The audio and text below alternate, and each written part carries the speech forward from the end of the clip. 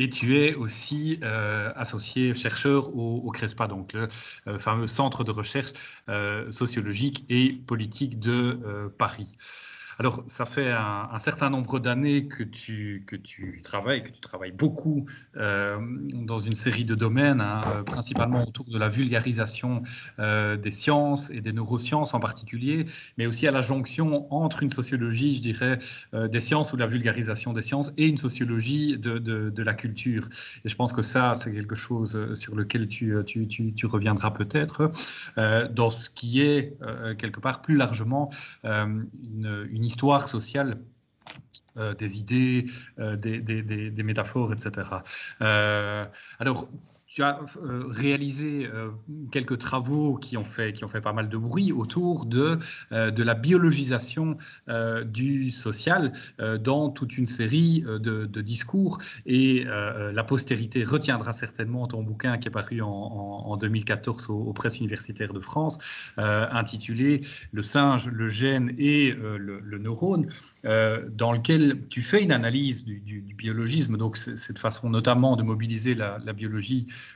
pour rendre compte des, phénomènes sociaux. Euh, tu l'analyses notamment en tant que phénomène éditorial, hein, ce, qui est, ce qui est vachement intéressant, ce qui euh, nous a déjà permis d'échanger. Hein. tu as, tu, tu as pas mal travaillé autour de la, de la production, euh, notamment chez, chez Odile Jacob. Tu as lu quelques centaines de bouquins, si je ne me trompe pas, ou en tout cas quelques. Enfin voilà, un, certain nombre. mais ce qui est aussi très intéressant, en particulier pour le projet ERC, c'est que ce phénomène du biologisme, tu analyses ces interconnexions avec l'ère morale, tu l'analyses en tant que phénomène moral aussi, euh, en posant les euh, questions de, des conditions de possibilité d'un succès euh, d'un discours scientifique. Dans, dans, dans, dans, le sens commun, en quelque sorte.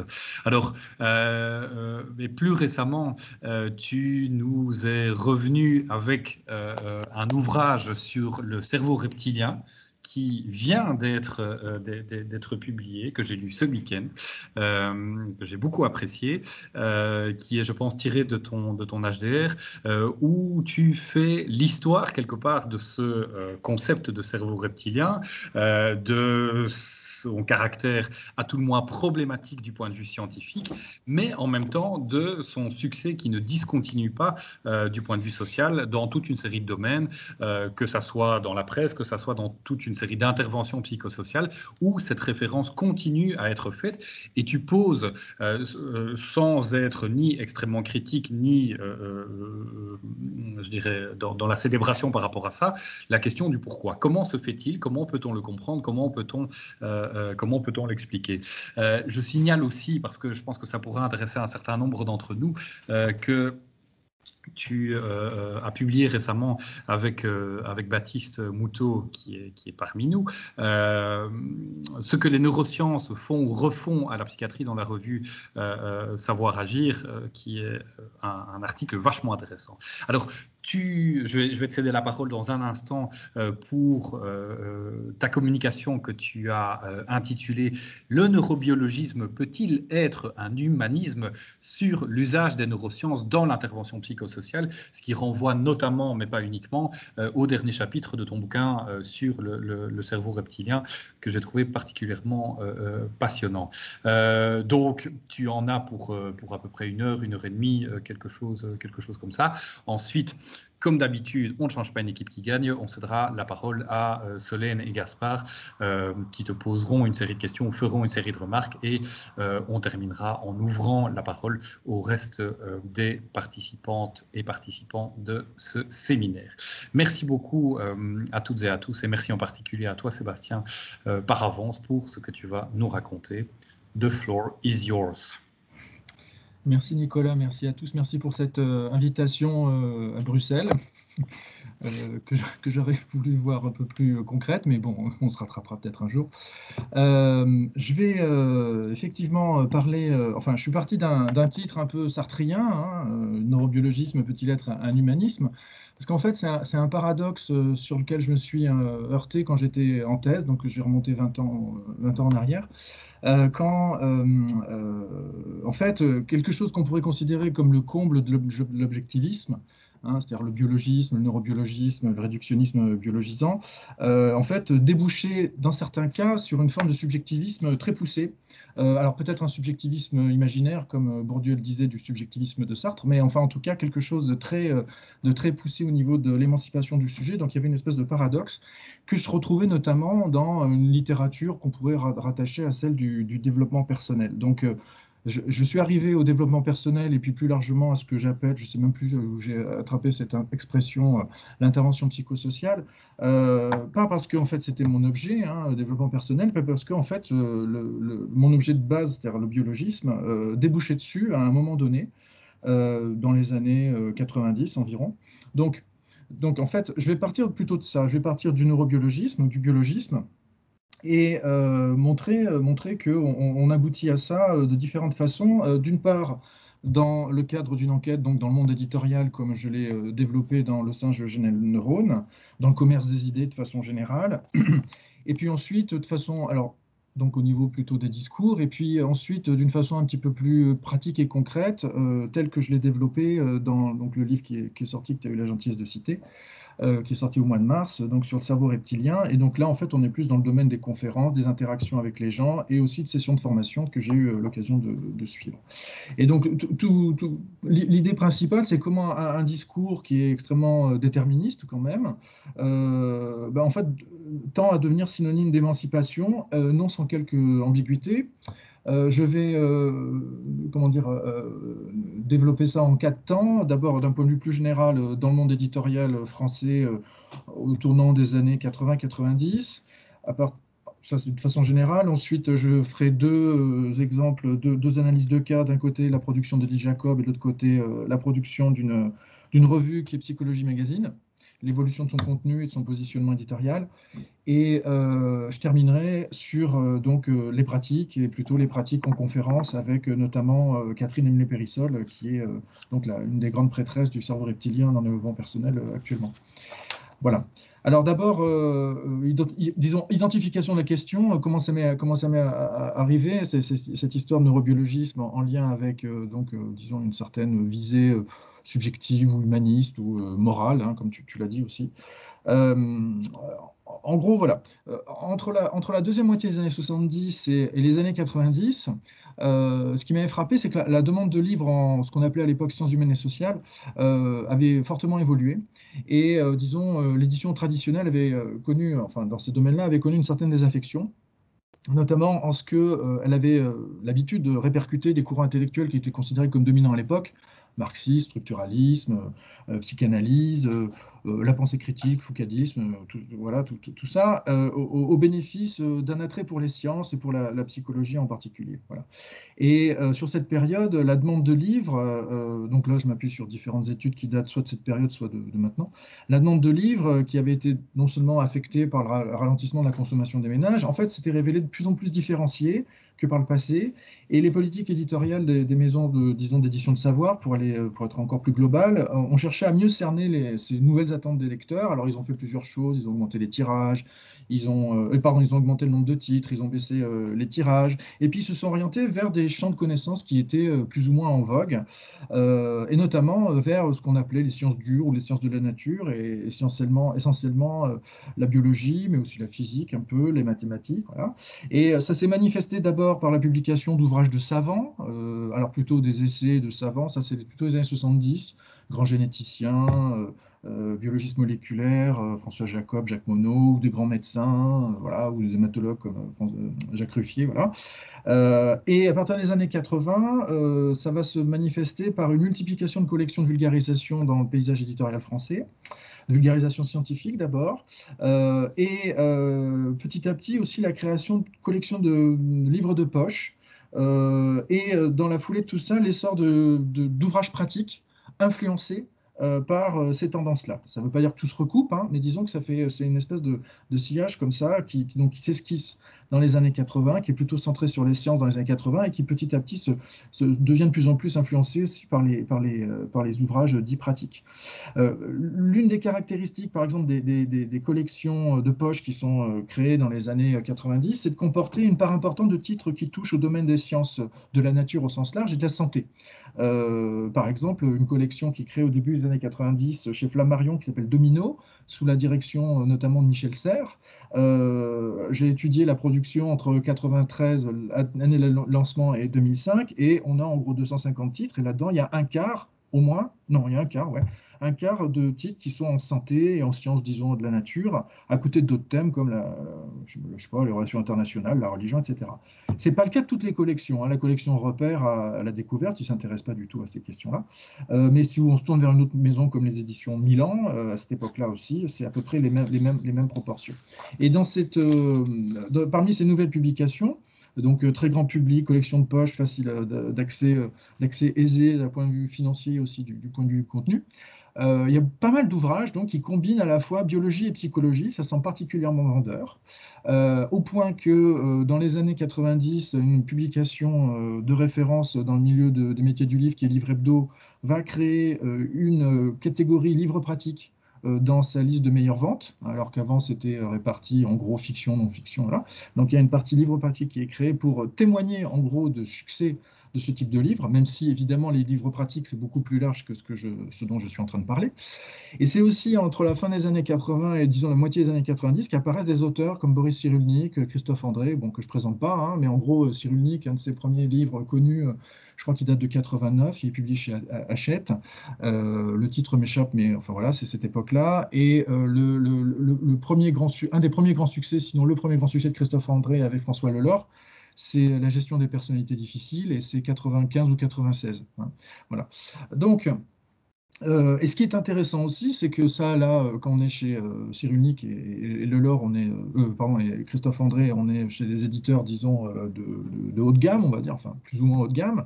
On va se dessiner une tendance comparable au sein des catalogues d'édition de, de, maisons plus commerciales, traditionnellement commerciales, livres pratiques, euh, alors, disons que c'est un peu plus euh, subtil que ça, c'est-à-dire par exemple à la fin des années 80, l'un des ouvrages best-sellers de l'année, euh, c'est un, livre de, je ne sais pas si vous connaissez, s'appelle Jim Cerveau, une technique, un état d'esprit, apparu chez une, dans une maison vénérable qui est Stock, par une, donc une, autrice qui s'appelait Monique Le, Poncin. Et dix ans après, elle se fait, donc il y a la suite hein, qui s'appelle Jim Cerveau, Objectif 100 ans, et c'est publié aux éditions Marabout. Et ce qui est intéressant, c'est que Marabout, à cette époque-là, s'est complètement euh, a jeté son dévolu euh, sur euh, ses, collections pratiques, et notamment avec une forte approche que j'appelle biopsychologique, c'est-à-dire qu'il fait euh, l'accent sur une conception très biologisée de la, psychologie. Donc là, si vous voulez des, titres et des références, je, renvoie au singe Gène et neurones, euh, page 180-181. Ça fait du bien de se citer de temps en temps soi-même. Et euh, on y trouve notamment des titres sur les thérapies cognitives, la gestion du négativisme dans l'entreprise, enfin même une certaine caractérologie, d'une certaine façon. Et on trouve aussi des, titres un petit peu analogues, en tout cas dans le même esprit, chez un autre éditeur très commercial qui est First, First Edition, hein, notamment, qui publie dans les années 90 cet ouvrage euh, très connu des, psychologues américains, le, couple des Peas, euh, Alan et Barbara, hein, euh, Pourquoi les hommes n'écoutent jamais rien et les femmes ne savent pas lire les cartes routières. Et puis là, il y en a eu plein d'autres derrière, et ce, livre s'est vendu au dire de l'éditeur à 20 000 exemplaires, et là, on est en plein dans les années 90. Donc ça, ça c'est un ensemble, un faisceau, de, de, présomptions pour montrer que le, la vogue, ou en tout cas la faveur éditoriale pour euh, des publications de type scientifique, ben, en fait, se décline aussi sur des segments euh, très commerciaux à vocation pratique. Et donc là, ça sera mon deuxième temps. L'une des meilleurs, un des meilleurs exemples de ça, donc, ce sont les éditions Di Jacob. Hein. donc là, je vais un petit peu plus caractériser le phénomène. C'est vraiment la maison euh, la plus emblématique de ce phénomène-là sur les années 80-90. Alors, Audi Jacob est euh, créé en 1986. Euh, alors, un mot juste sur la façon dont j'ai travaillé sur, pour, les, pour les gens qui ne connaîtraient pas le premier livre. je travaillais beaucoup sur son catalogue. J'ai beaucoup travaillé sur aussi des, des archives auxquelles j'ai eu accès dans la maison, notamment des, revues de presse, des, argus de la presse, choses comme ça. Je fais des entretiens aussi avec certains directeurs de collection, et puis le, secrétaire, je vais dire particulier, Denis Jacob. et donc, en fait, j'ai pu voir un peu comment, comment se fabriquer, comment se fabriquer. Enfin, j'ai eu des, des, éléments sur la façon dont se fabriquait cette offre. Euh, les éditions Olivier Jacob, c'est une, des maisons qui, a su le, mieux tirer parti de ce changement éditorial dont je parlais tout à l'heure, de ce changement de configuration du marché. Euh, elle disait euh, au début des années 2000, les sciences humaines évoluent, certains domaines ont vieilli, d'autres sont en train d'émerger comme la psychologie cognitive, qui n'existerait pas en France dans les années 70. Moi, je ne parlerai pas de crise, donc parce que à l'époque, le, diagnostic était que la crise touchait l'édition de sciences humaines et sciences humaines en général. Elle estimait qu'il y avait simplement peut-être un changement de paradigme. Et ce qui est, ce qui est euh, un peu caractéristique de sa production, c'est une espèce de combinaison entre d'un certain, un certain, alors, euh, un objectivisme biologique, biologisé, très fort, des comportements, de la psychologie, etc. Et en même temps, une, volonté d'affirmation du sujet ou de, libération du sujet. Ça se voit à certains titres. Ça se voit à certains titres, mais ça se voit plus à l'échelle du catalogue. C'est-à-dire qu'il euh, y a certains titres qui vont avoir ces, deux, ces deux piliers, si j'ose dire, mais en fait, ça se voit plutôt dans la politique éditoriale générale de la maison, peut, donc on peut prendre le catalogue, c'était le, parti pris que j'avais pris dans, le cadre de ma thèse, hein. on prend le catalogue et on l'analyse comme une production en soi, une production intellectuelle et culturelle, étalée sur plusieurs décennies. Moi, je l'avais euh, faite dans le cadre de ma thèse entre 86 et 2006 les, 20, premières années de, vie de la, maison. Et euh, donc avec un projet, alors évidemment euh, avec plein de contradictions, puis aussi euh, pas uniquement, disons, issu d'une intention consciente de la part de l'éditrice. Hein, l'édition, la politique éditoriale, c'est aussi des coûts, parfois, c'est aussi du hasard. Mais disons, il y a un projet quand même rattachable à, disons, moi, une intention de la maison d'édition. Et c'est donc par l'accumulation des titres, l'analyse de la façon dont ces titres sont présentés dans le catalogue via les quatrièmes de couverture, par exemple, ou les, textes de présentation sur le site, et aussi la coprésence de certains titres au sein du catalogue à un même moment, euh, que, à mon sens, euh, justement, ça fait sens. Euh, en fait, le catalogue de D. Jacob, il est donc lancé en 85-86. Il évolue sur un continuum où, à un côté, vous avez les synthèses scientifiques les exposés épistémologiques, Jean-Pierre Changeux, le Collège de France, voilà. Et puis d'autre côté, à l'autre bout, vous avez plutôt des livres qui sont consacrés à des questions de société, euh, des questions très concrètes, euh, comment élever son enfant, comment régler ses allergies, etc. Et, mais la marque de fabrique qui unit tout ça, c'est de faire écrire ce qu'elle appelle des savants. Alors ça va être des chercheurs, ça va être des médecins, ça va être des, praticiens en tout genre, voilà. Euh, et ça se décline dans toutes les collections. Alors elle n'appelle pas ça exactement des collections, mais disons que c'est les, pans du catalogue. Il y, a, science, il y a psychologie, il y a santé, il y a sciences humaines, etc. Et, j'ai développé tout ça dans, un article paru dans, dans Société contemporaine en, 2006 et que je reprends euh, dans, dans dans le livre. Euh, et euh, ce qui, ce qui unifie le, le, catalogue de Louis Jacob, c'est une espèce de tropisme psychologique, d'abord, au sens large. Euh, c'est-à-dire qu'en fait, il y a plein de centres d'intérêt qui sont apparemment éloignés les uns des autres, hein, des questions très macro-sociales, économiques, démographiques, culturelles, puis de côté, des choses plus individuelles. Mais à chaque fois, c'est la psychologie ou le psychologique, le facteur psychologique, qui apparaît un peu comme le centre de gravité de l'offre grand public du, du catalogue. Et là-dedans, euh, ce qui m'intéresse, ce, dont je vais parler maintenant, c'est plutôt la, production en matière de santé. Donc, dans le catalogue, pour celles et ceux qui ne connaîtraient pas, à côté donc des, essais de grands scientifiques, mais aussi d'experts en relations internationales ou de Jacques Attali ou Régis Debray, vous avez une importante production en matière de santé euh, dans la collection du même nom. Hein. Euh, qui est vraiment guidée vers l'objectif d'un bien-être individuel, physique comme psychique. Alors, ce qui est intéressant pour la, petite histoire, c'est que euh, quand j'étais euh, euh, chez Odile Jacob, donc c'était il y a 20 ans, hein, au début des années 2000, pour, travailler sur ces archives de presse relatives aux livres, quand il s'agissait de, de, demander les archives en lien avec les ouvrages de Jean-Pierre Changeux ou Jean-Didier Vincent, il n'y avait aucun problème.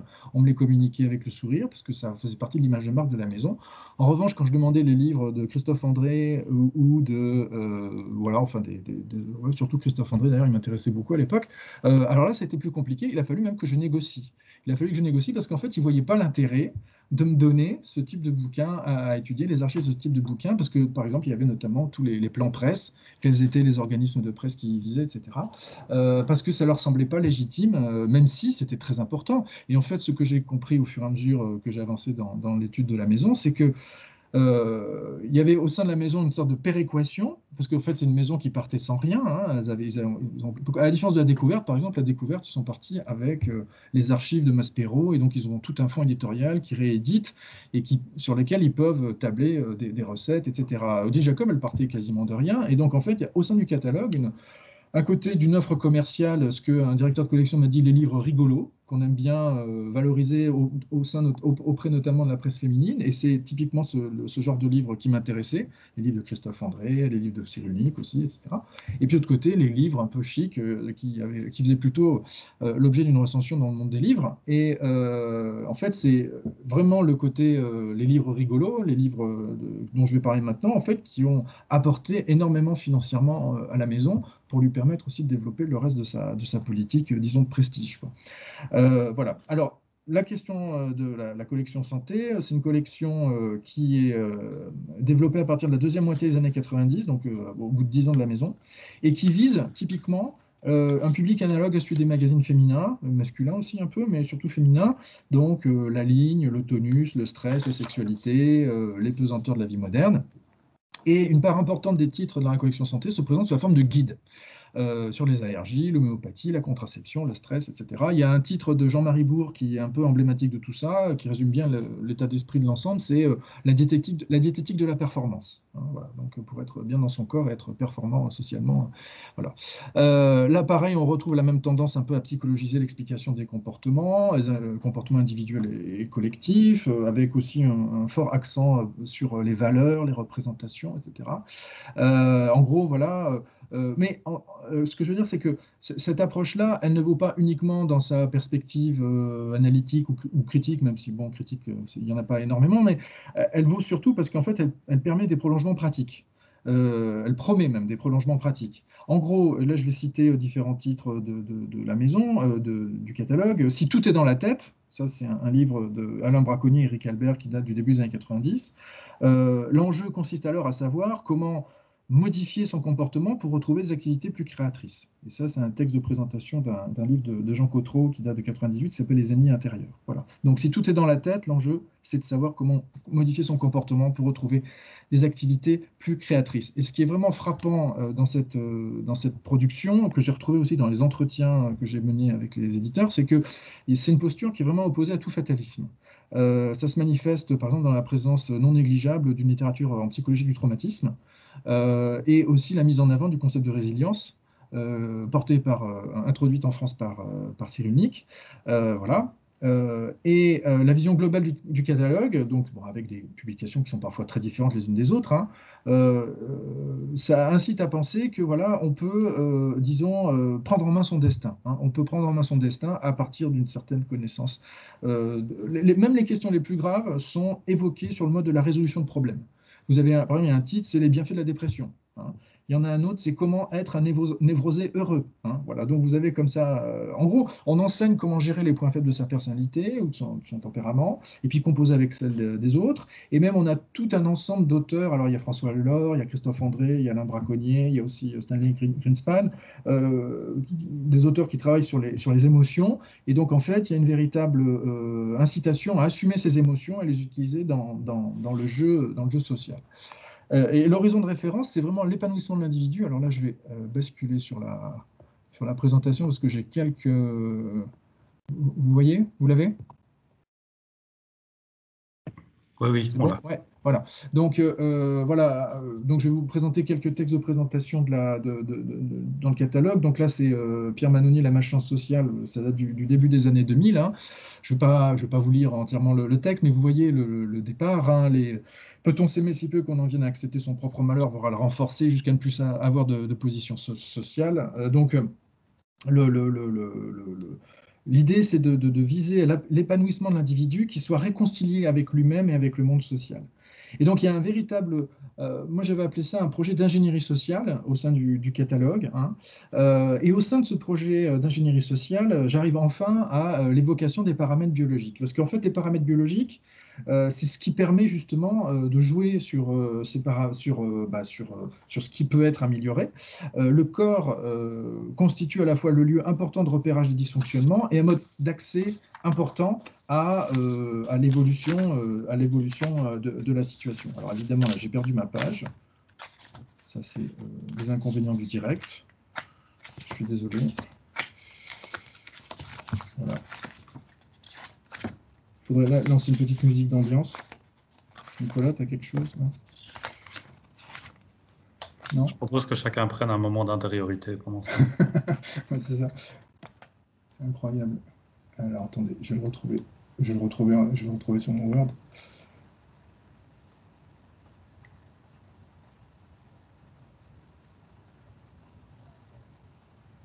le chantage de la musique d'ambiance ou on fait ça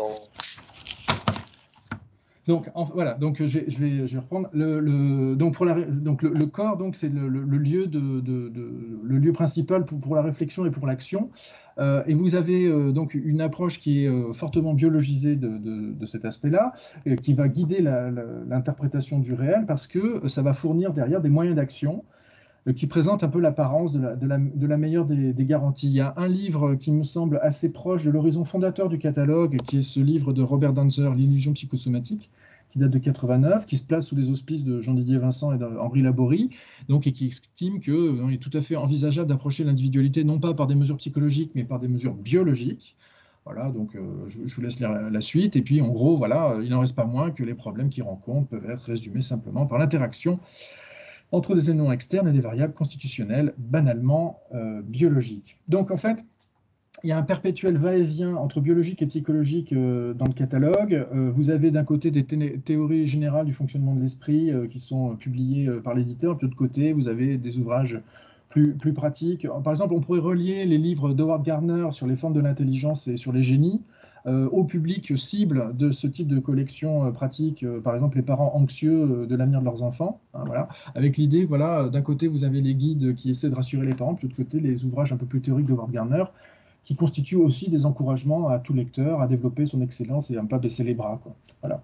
Alors, ce qui était intéressant dans cette, dans cette, dans cette, dans cette production, c'est que à l'époque, ça s'inscrivait un peu en faux contre, disons, la conception habituelle qu'on avait du biologisme, qui était un biologisme réductionniste, discriminant, euh, voire raciste, sexiste, en gros, euh, avec tout l'apparat de la nouvelle droite euh, telle qu'elle s'était développée en France dans les années 70, avec son apologie de la sociobiologie.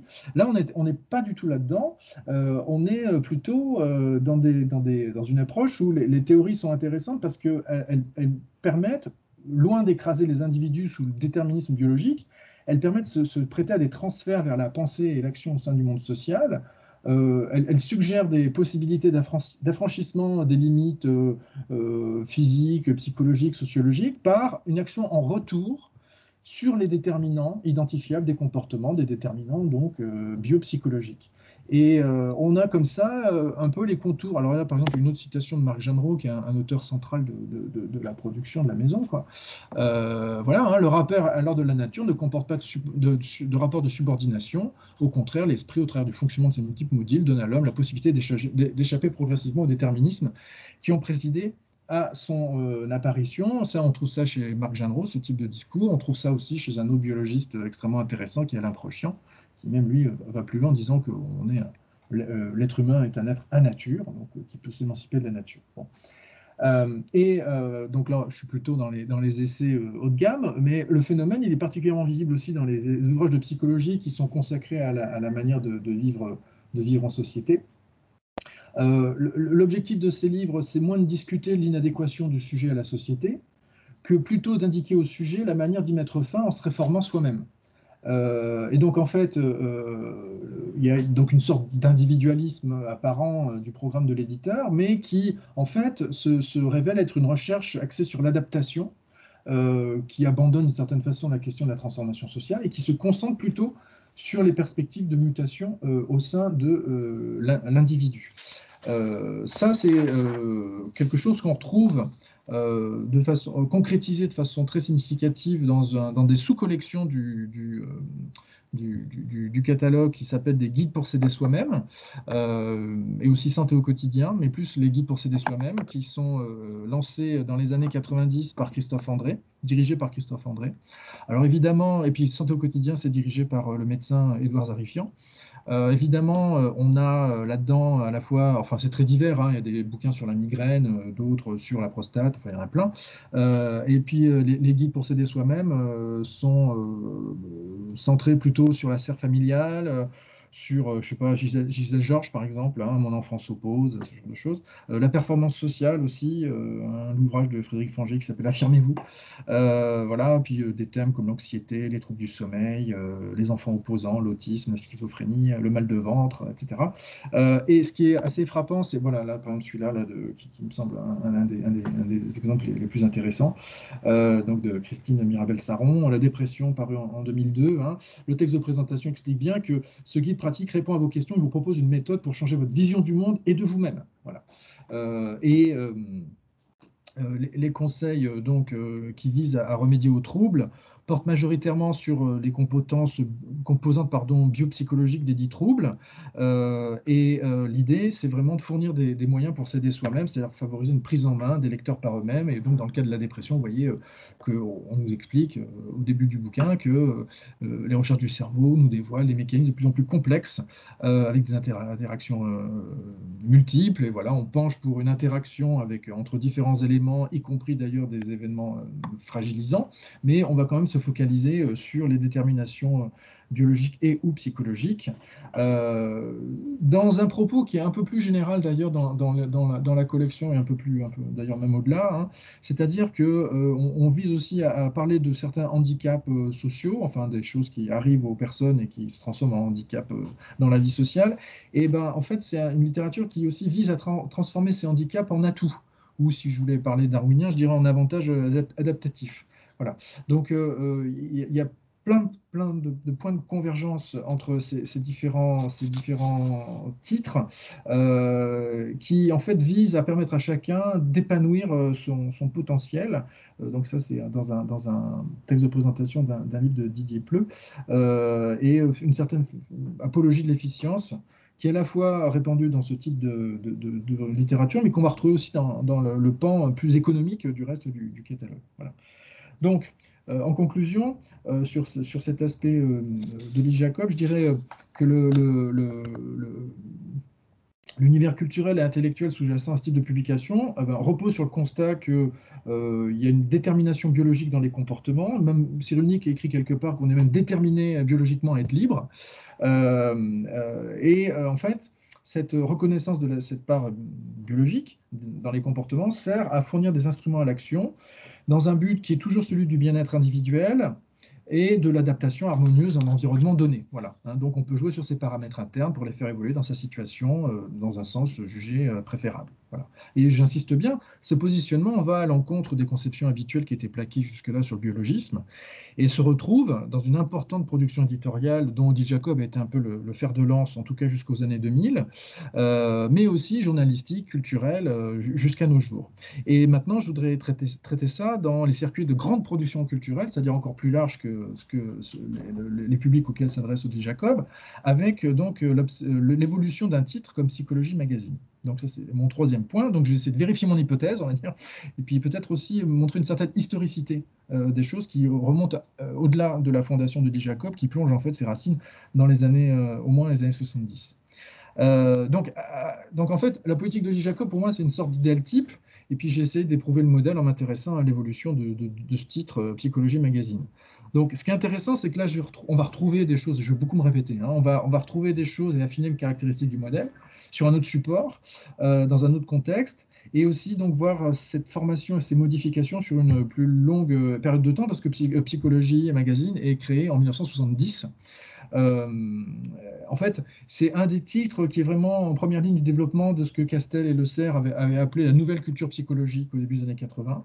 Euh, Psychologie Magazine, c'est à la fois par son contenu et sa trajectoire éditoriale une illustration vraiment euh, assez saisissante de la façon dont les raisonnements euh, biopsychologiques, on va dire, psychologisants, biopsychologisants, trouvent leur place dans la presse de grande consommation, selon une trajectoire qui part de la vulgarisation scientifique et qui aboutit à la presse féminine. Et en gros, il y a trois périodes dans l'histoire de, ce titre. Euh, j'espère que tout le monde voit à peu près. Euh, enfin, j'imagine qu'elle est diffusée en Belgique aussi. Euh, la première période, elle va des années 70 à 1983, et c'est véritablement un projet de vulgarisation scientifique. donc, c'est vraiment dans une époque qui est vraiment celle de la relance de ce type de littérature en France. la revue, elle peut vraiment, dans son contenu, être comparée dans son projet initial, hein, à la recherche ou, de nos jours sciences humaines, d'ailleurs plus, plutôt sciences humaines. Hein. Euh, elle est fondée par un, homme de presse qui s'appelait Jacques Mousseau, qui était aussi producteur audiovisuel et qui, alors là je m'adresse aux plus anciens, qui était connu pour, euh, enfin qui était connu ensuite pour produire l'émission Temps X des frères Bogdanov au début des années 80. Bon, je, je, là, je fais appel à, presque une, une, remarque d'initié, euh, qui était euh, consacrée à la, science-fiction et à, la vulgarisation scientifique, mais dans un sens un peu, un peu olé olé, on va dire. Euh, donc, le, psychologie, c'est son mot d'ordre, son, slogan de départ, c'est comprendre, savoir, agir dans le monde d'aujourd'hui. Vous voyez, un truc très, voilà, les savoirs, on agit, etc. Et ça correspond vraiment à, l'idée de la vulgarisation scientifique à cette époque-là. Euh, si on examine un peu son contenu, on voit que vraiment euh, il y a une vision de la science et de la vulgarisation sociale dans le sens d'une utilité en vue de la réalisation de certains principes progressistes, notamment euh, l'amélioration de, la vie de chacun, etc. et à chaque fois, il s'agit de formuler les questions en termes scientifiques, mais en même temps en sauvegardant un ensemble de notions comme la notion de volonté, la notion de conscience. Et donc déjà, déjà on a l'idée d'un sujet réflexif euh, un petit peu en maître de son destin et qui s'appuie sur la science pour faire avancer euh, certaines, euh, certaines questions. Il une question Non voilà. c'est une revue qui est à, l'origine vraiment tournée en plus vers la production internationale et ils traduisent pas mal d'articles de Psychology Today. et l'une des caractéristiques de psychologie, à l'époque ça s'appelle psychologie, c'est de faire une large place au soubassement biologique euh, de la psychologie et des comportements en général. Alors, à l'époque, c'est plutôt centré sur l'éthologie, mais de plus en plus aussi euh, sur euh, les neurosciences. Donc, ils vont faire des entretiens avec les figures principales des disciplines, ils vont présenter des études de cas de psychologie comparée, etc. Et donc, les sciences du cerveau bénéficient d'une faveur sensible dès les années 70, et ça, c'est un petit peu, un petit peu disons, euh, remarquable dans le panorama général, parce que dans la production française, ça va plutôt apparaître dans les années 80, cet intérêt pour les sciences du cerveau. Chez eux, c'est dès les années 70. Dès les premiers numéros, on a des articles sur la carte du cerveau, sur euh, les différenciations sexuelles en matière de latéralisation cérébrale. Euh, voilà, ils donnent la parole à des gens comme Howard Gardner, encore lui, ou Euh, mais aussi euh, Pierre Debré-Ritzen, euh, le, psychologue qui a introduit MacLean et le cerveau reptilien en France et qui était proche de la nouvelle droite. Voilà. Donc voilà, il donne la, parole à, tous ces gens-là qui prônent une approche très biologisée du psychisme. Hein. Debré-Ritzen, c'était aussi un des apôtres des, tests de quotient intellectuel chez les enfants dans les années 70. et c'est une revue qui fait largement écho, pardon, aux querelles qui agitent les États-Unis à cette époque-là sur les relations entre race et intelligence, mais aussi sur les différences entre hommes et femmes sur euh, les affirmations euh, euh, diverses et variées qui montrent, disons, les liens entre la génétique et les comportements. Donc, en fait, vraiment une approche très biologisée des choses, mais qui voisine en même temps, c'est ça qui est intéressant, parce qu'en fait, il faut bien vivre. Donc, ils s'adressent aussi à beaucoup de monde, et donc, ils vont aussi promouvoir la psychanalyse, la psychologie de Piaget, le behaviorisme. Enfin, vous voyez, une espèce de pourri euh, théorique, même si on note qu'il y a une tendance croissante à contester ces, grilles de lecture euh, ou psychanalytiques à partir de la, du milieu des années 70. Voilà. En fait, dans cette première partie du magazine, on voit un bon aperçu du développement d'une culture psychologique en France, culture au sens euh, consommation, publique, etc. Il y a d'abord, au début de la décennie, une célébration de ce qu'ils ils appellent eux-mêmes le rêve californien, donc autour des philosophies du corps, le grand retour au corps, au sens, aux émotions. Après, il y a euh, l'intérêt pour euh, Skinner, le comportementalisme et surtout euh, sa critique. Il y a aussi une très forte attention, à même une passion pour la psychanalyse avec, enfin, avec les, auteurs nationaux comme Lacan, Maud Manouni ou Françoise Dolto. et puis, sur la fin de la période dont je parle, la fin des années 70, début années 80, la conviction que la modernité, en fait, elle réside dans les neurosciences. Euh, et euh, que en fait l'intérêt de tout ça, c'est la découverte, je, cite un article de 1983, euh, la découverte des nouvelles bases biologiques de la psychologie. qui se combine aussi avec l'intérêt, la, promotion de, des écrits de chercheurs comme Henri Laborie. Voilà, donc tout ça, c'est le début des années 80. Et alors, psychologie nous, nous, permet aussi de jeter un œil sur quelque chose qui n'est pas souvent euh, évoqué lorsqu'on parle de, de, ces productions-là, c'est le lectorat dans sa composition sociologique. Euh, elle avait réalisé une enquête là-dessus euh, sur les lectorats des revues de vulgarisation scientifique dans les années 70, et elle avait montré que, alors elle avait fait plusieurs, elle avait fait sciences et vie, elle avait fait psychologie, elle avait fait aussi historia, je crois, et le succès de ce type de publication s'expliquait d'abord par son orientation pratique, euh, qui, permettait en fait au lecteur, euh, au lectorat d'acquérir une forme de culture intellectuelle ou euh, ce qu'on appelle ailleurs un capital symbolique pour, leur permettre de fréquenter des groupes sociaux auxquels ils aspirent à s'intégrer. en fait, le goût pour la, lecture de psychologie en fait semble plutôt venir de classes moyennes en ascension ou du moins de, groupes qui ont subi une profonde transformation du fait euh, de, l'accès à l'enseignement supérieur qui est massif à, cette époque-là. On, passe le, million d'étudiants euh, au début des années 70. Euh, et on est donc en fait dans des fractions des classes moyennes qui sont en mobilité ascendante. Euh, notamment, euh, il y a des, pourcentages. Enfin, en gros, les deux tiers de, des lecteurs de psychologie sont inclus dans, ces, couches-là, et notamment chez les, euh, membres des professions paramédicales, sociales, qui sont en plein développement à, la fin des années 70, et qui sont des, fractions des classes moyennes qui sont aussi lectrices de, de, de revues comme l'Express, le Nouvel Observateur, qui font montre d'une bonne volonté culturelle, euh, qui sont dans une disposition d'esprit plutôt novatrice et portée à adhérer au changement qui s'observent dans la société à cette époque-là, surtout s'ils sont de, type qualitatif, et c'est là où je veux en venir, c'est en fait ce sont des gens aussi qui sont très attentifs à l'amélioration qualitative euh, du cadre de vie, donc euh, ils sont par exemple euh, attentifs aux problèmes liés à la pollution, au nucléaire, ou alors à, d'un autre côté tout ce qui est les luttes de type symbolique autour hein, des mouvements féministes, ce genre de choses, et ça rejoint ce que un politiste américain d'ailleurs qui est décédé samedi, j'ai fait exprès, qui était Ronald Inglehart, euh, appelé le pardon. C'est-à-dire en fait euh, des, mots d'ordre idéologiques qui vont au-delà de la lutte pour, euh, disons, je sais pas, la, répartition des biens et des richesses, etc., mais qui sont plus centrés sur des luttes de type symbolique et d'amélioration du, du, cadre de vie, et qu'on retrouve aussi énormément porté dans certaines parutions de la presse féminine, comme Elle à l'époque, hein, déjà.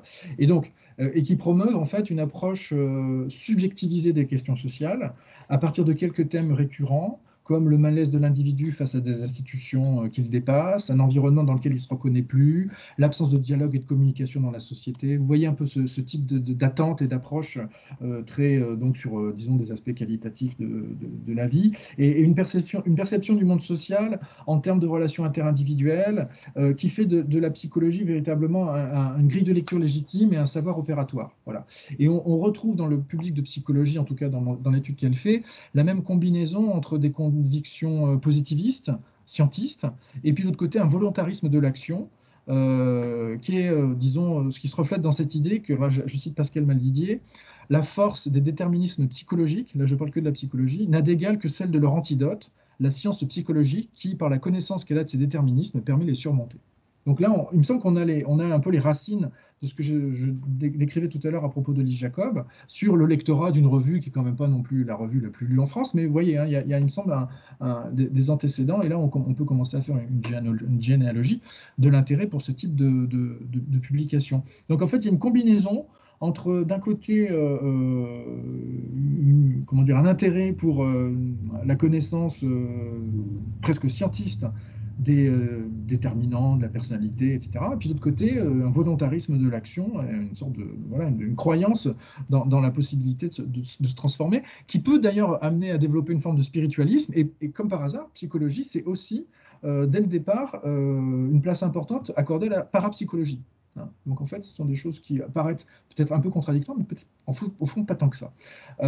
et derrière ça, il y a aussi une défiance croissante vis-à-vis -vis des possibilités de l'action politique donc l'inscription plutôt dans des collectifs euh, plus larges. Quoi.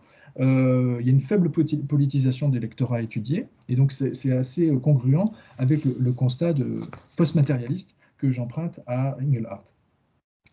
au début des années 80, je vais aller plus vite, je vous rassure. Il y a un changement complet de la, formule de, de, psychologie qui l'a fait passer du domaine de la vulgarisation scientifique à celui de la presse féminine, c'est-à-dire même dans, la nomenclature, euh, des, médias. Enfin, à l'époque, ça s'appelait l'Office de justification de la diffusion, l'OJD. Maintenant, ça s'appelle l'Alliance pour les chiffres de la presse et des médias.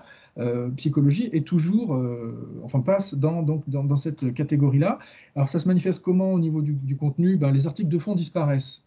C'est comme si chez Odile Jacob, il n'y avait plus d'essais de Jean-Didier Vincent ou de Boris Cyrulnik et qu'on se focalisait uniquement sur les, conseils donnés aux lecteurs. Et donc, on a une orientation qui est beaucoup plus commerciale, avec une pagination allégée, des articles beaucoup plus courts, des sujets orientés vers la vie pratique, toujours un peu les mêmes, hein, réussite professionnelle, identité professionnelle, la famille, l'adolescence, les problèmes du couple, des questions médicales aussi, et puis une large, large, large part accordée à la, sexualité. Il y a énormément de dossiers sur la vie sexuelle, les fantasmes, le voyeurisme. Euh, etc. Euh, psychologie d'ailleurs se, dote d'un S à l'époque, c'est-à-dire qu'en fait ils sont en train de, de, de, se, de, se, définir comme étant à l'écoute de toutes les psychologies, pas d'une psychologie en général, donc, euh, plus tournée vers, vers, le public, on va dire. Et en fait, ils vont, commencer, ils vont chercher à, occuper une identité un peu spécifique dans l'espace de la presse féminine, où ils vont développer ce subjectivisme très très poussé, avec, combiné à un positivisme qui va verser soit euh, parfois dans la psychanalyse, soit dans la biopsychologie, soit parfois dans la parapsychologie. Voilà. Et euh, ce qui est intéressant aussi, euh, alors je reviens à ma, présentation, ce qui est intéressant, c'est qu'on a avec psychologie un exemple de la façon dont le retour au sujet, hein, dont on nous rebat les oreilles à, propos des années 80, mais en fait comment il est vendu clairement dans des euh, circuits de grande production culturelle, euh, par exemple dans cet éditorial de 1983, hein, où on a véritablement euh, tous les clichés qui s'enfilent à propos du retour au sujet et des philosophies du sujet des années 80, ben voilà, voilà à quoi ça ressemblait dans, une revue. Alors, la couverture à côté n'est pas exactement mai 83, je crois que c'est septembre, parce que je n'ai pas retrouvé celle de 83. Mais enfin, bon, vous, voyez un peu, l'idée, euh, avec un, hommage à, pixelisé à Marilyn Monroe. Euh, donc, le, maître mot, donc, c'est le sujet. Hein, le sujet, et donc ça devient véritablement le, créneau de, la, publication. Donc, en fait, on s'éloigne de la simple, comment dire, euh, du simple programme de vulgarisation scientifique et de donner des outils pour s'en tirer dans le monde et agir, mais véritablement le sujet devient le, point central de, la politique éditoriale de la, revue euh, et qui va, euh, disons, manifester une transition entre une conception de la science qui était un outil au service d'un programme de connaissance et d'action à ce programme post-matérialiste qui n'est plus centré véritablement sur la connaissance, mais qui est plutôt centré sur les fins, c'est-à-dire sur l'épanouissement euh, personnel. Et à preuve, les premiers numéros de la nouvelle formule, donc 83, euh, célèbrent le retour de l'individualisme. Donc là, ça, c'est le nom d'un dossier de février 84. Voilà. Ça, c'est un premier glissement intéressant. Le deuxième glissement dans la revue, c'est que la politique éditoriale, comme je l'ai dit, elle est plus centrée sur un projet intellectuel, mais sur une volonté d'empathie avec les lecteurs, qui est visible même au slogan. C'est-à-dire qu'il change de slogan. Le slogan dans les années 80, c'est Vivre sa vie. Et en fait, l'objectif de la, publication, c'est maintenant de promouvoir, alors je veux dire avec beaucoup de guillemets, une philosophie, euh, un art de vivre. Euh, et euh, ça, ça va être la, ligne jusque dans les années 90. Et ça va même, disons, être poussé, disons, vraiment, pas au paroxysme, disons, de plus en plus poussé euh, dans le fait que euh, la, revue dans les années 90 va être rachetée par l'homme de presse euh, Jean-Louis Servan-Schreiber, qui est aussi patron de l'expansion, et qui va, suite à, ce rachat, la, revue va monter en gamme, c'est-à-dire que la pagination va être en nette augmentation, avec évidemment beaucoup de, publicité, une amélioration de la présentation, de la qualité du papier, etc. Je l'ai entièrement dépouillé à, la Bibliothèque nationale et je peux vous assurer qu'il y a un vrai changement entre entre le psychologie des années 80 et celui de, de Schreiber. Et c'est à cette époque-là aussi qu'on commence à, faire appel. C'est un peu la, en fait, la, ligne qui est actuelle hein, encore, c'est-à-dire avec des, célébrités qui font la, couverture. Et c'est là aussi où on va faire appel de plus en plus souvent à Christophe André, qui va même être à un moment donné euh, euh, responsable des tests euh, dans, la revue, et puis aussi Cyrulnik, qui va commencer à être un, invité permanent, etc. Ceci dit, entre le psychologie donc, des années 2000 et celui des années 70, il y a des continuités, et notamment euh, la volonté de fournir des outils pour mieux comprendre notre destin, euh, une visée d'adaptation optimale au monde moderne grâce aux, outils fournis par la science psychologique. Là, tout un, tout un, par exemple, il y a un dossier de 1990 qui s'appelle Savoir accepter les changements et qui est véritablement dans cette ligne. Et puis là-dedans, eh bien, se loge encore et toujours l'intérêt pour les neurosciences, alors qui sont convoqués par exemple pour des articles traitant de l'intelligence et de la mémoire, euh, mais euh, aussi euh, sur tout un ensemble de thèmes qui tournent autour d'une conception très, disons, neuronale de la, de la psyché. Toujours parfois en, parallèle avec la psychanalyse, parce que bon, il faut se mettre, disons, il faut se fâcher avec personne. Et donc il y, a des dossiers, des articles qui vont traiter de, cette neurobiologisation euh, de la de la de, l'esprit, de la psyché, en, disant à chaque fois oui, il faut faire attention, euh, pas tomber dans le réductionnisme et puis la singularité de chacun, c'est important. Mais bon, il y a quand même euh, des hommages appuyés réguliers à Jean-Pierre Changeux, à l'homme neuronal dans les années 90. Il y a de nombreux neuroscientifiques qui sont invités pour parler de, je sais pas, l'inconscient, des origines organiques des maladies mentales, et surtout cette conviction du déterminisme biologique de la personnalité, notamment au plan, au plan euh, des aspects, comment dire, de la différenciation sexuelle euh, de l'activité cérébrale. Ça, ce sont des choses qui reviennent souvent euh, avec donc des, auteurs qui, comme Jean-Didier Vincent, qui est aussi un, habitué des colonnes de psychologie à cette époque-là. Voilà. Cependant, Bon, il faut quand même pas non plus exagérer, exagérer tout ça. La présence du, biopsychologisme atteint des proportions bien moindres que dans la version précédente des années 70, quand c'était la vulgarisation. Euh, l'un des caractères fondamentaux de la formule, c'est de, bah, donner la, priorité. Je vais peut-être revenir, vers vous. Euh, euh, l'un des caractères fondamentaux de la formule, c'est de, donner la priorité à l'épanouissement personnel. C'est ça d'abord, c'est moins que de donner des éléments scientifiques. La logique éditoriale, euh, c'est celle du pot pourri, c'est encore la sienne, je crois, maintenant, même si ça fait longtemps que je ne l'ai pas lu, psychologie, où chacun peut en gros euh, picorer ce qui lui convient. Donc, il y en a qui vont prendre la psychologie scientifique, il y en a qui vont prendre de la parapsychologie, il y en a qui vont prendre des techniques de relaxation, il y en a qui vont prendre la euh, spiritualité orientale, mais il y en a même qui vont se tourner vers la philosophie morale. Donc en gros, euh, psychologie, c'est du New Age à Luc Ferry en passant euh, par Jean-Didier Vincent. il y a un éclectisme des centres d'intérêt qui me semble assez aussi symptomatique du développement personnel. Et il me semble qu'il y a un auteur aussi qui cristallise un peu tout ça, c'est Edgar Morin, hein, qui, est l'incarnation de la transdisciplinarité à visée humaniste et qui est un véritable trait d'union d'ailleurs entre les différentes époques euh, de, la revue, puisqu'il est aussi bien interrogé et invité dans les années 70 que, que, de nos jours. Euh, voilà, donc il y a un syncrétisme qui est intéressant et qui est particulièrement pratiqué dans tous les dossiers qui appellent à la prise en soi la prise de soi en main, pardon, euh, au combat contre les idées noires. Donc à chaque fois, en fait, on rappelle les principales déterminations des représentations, mais en rappelant aussi que ça n'empêche ni la liberté intérieure, ni la possibilité de marge de manœuvre, parce que justement, la, comment dire, le, surplomb qui est conféré par la juste connaissance des causes vous permet euh, d'agir euh, en retour et de soutenir l'idée, là je cite un, un article de 1995, notre réalité, c'est nous qui la créons. Donc en fait, on ne fiche pas le sujet dans son déterminisme, euh, on, révèle euh, des marges de manœuvre, et c'est autant d'invitations à, l'action, telles que les illustrent par exemple les, démarches cognitivo-comportementalistes. Euh, et là, je cite encore bah, le même article d'ailleurs, de Marie Borel.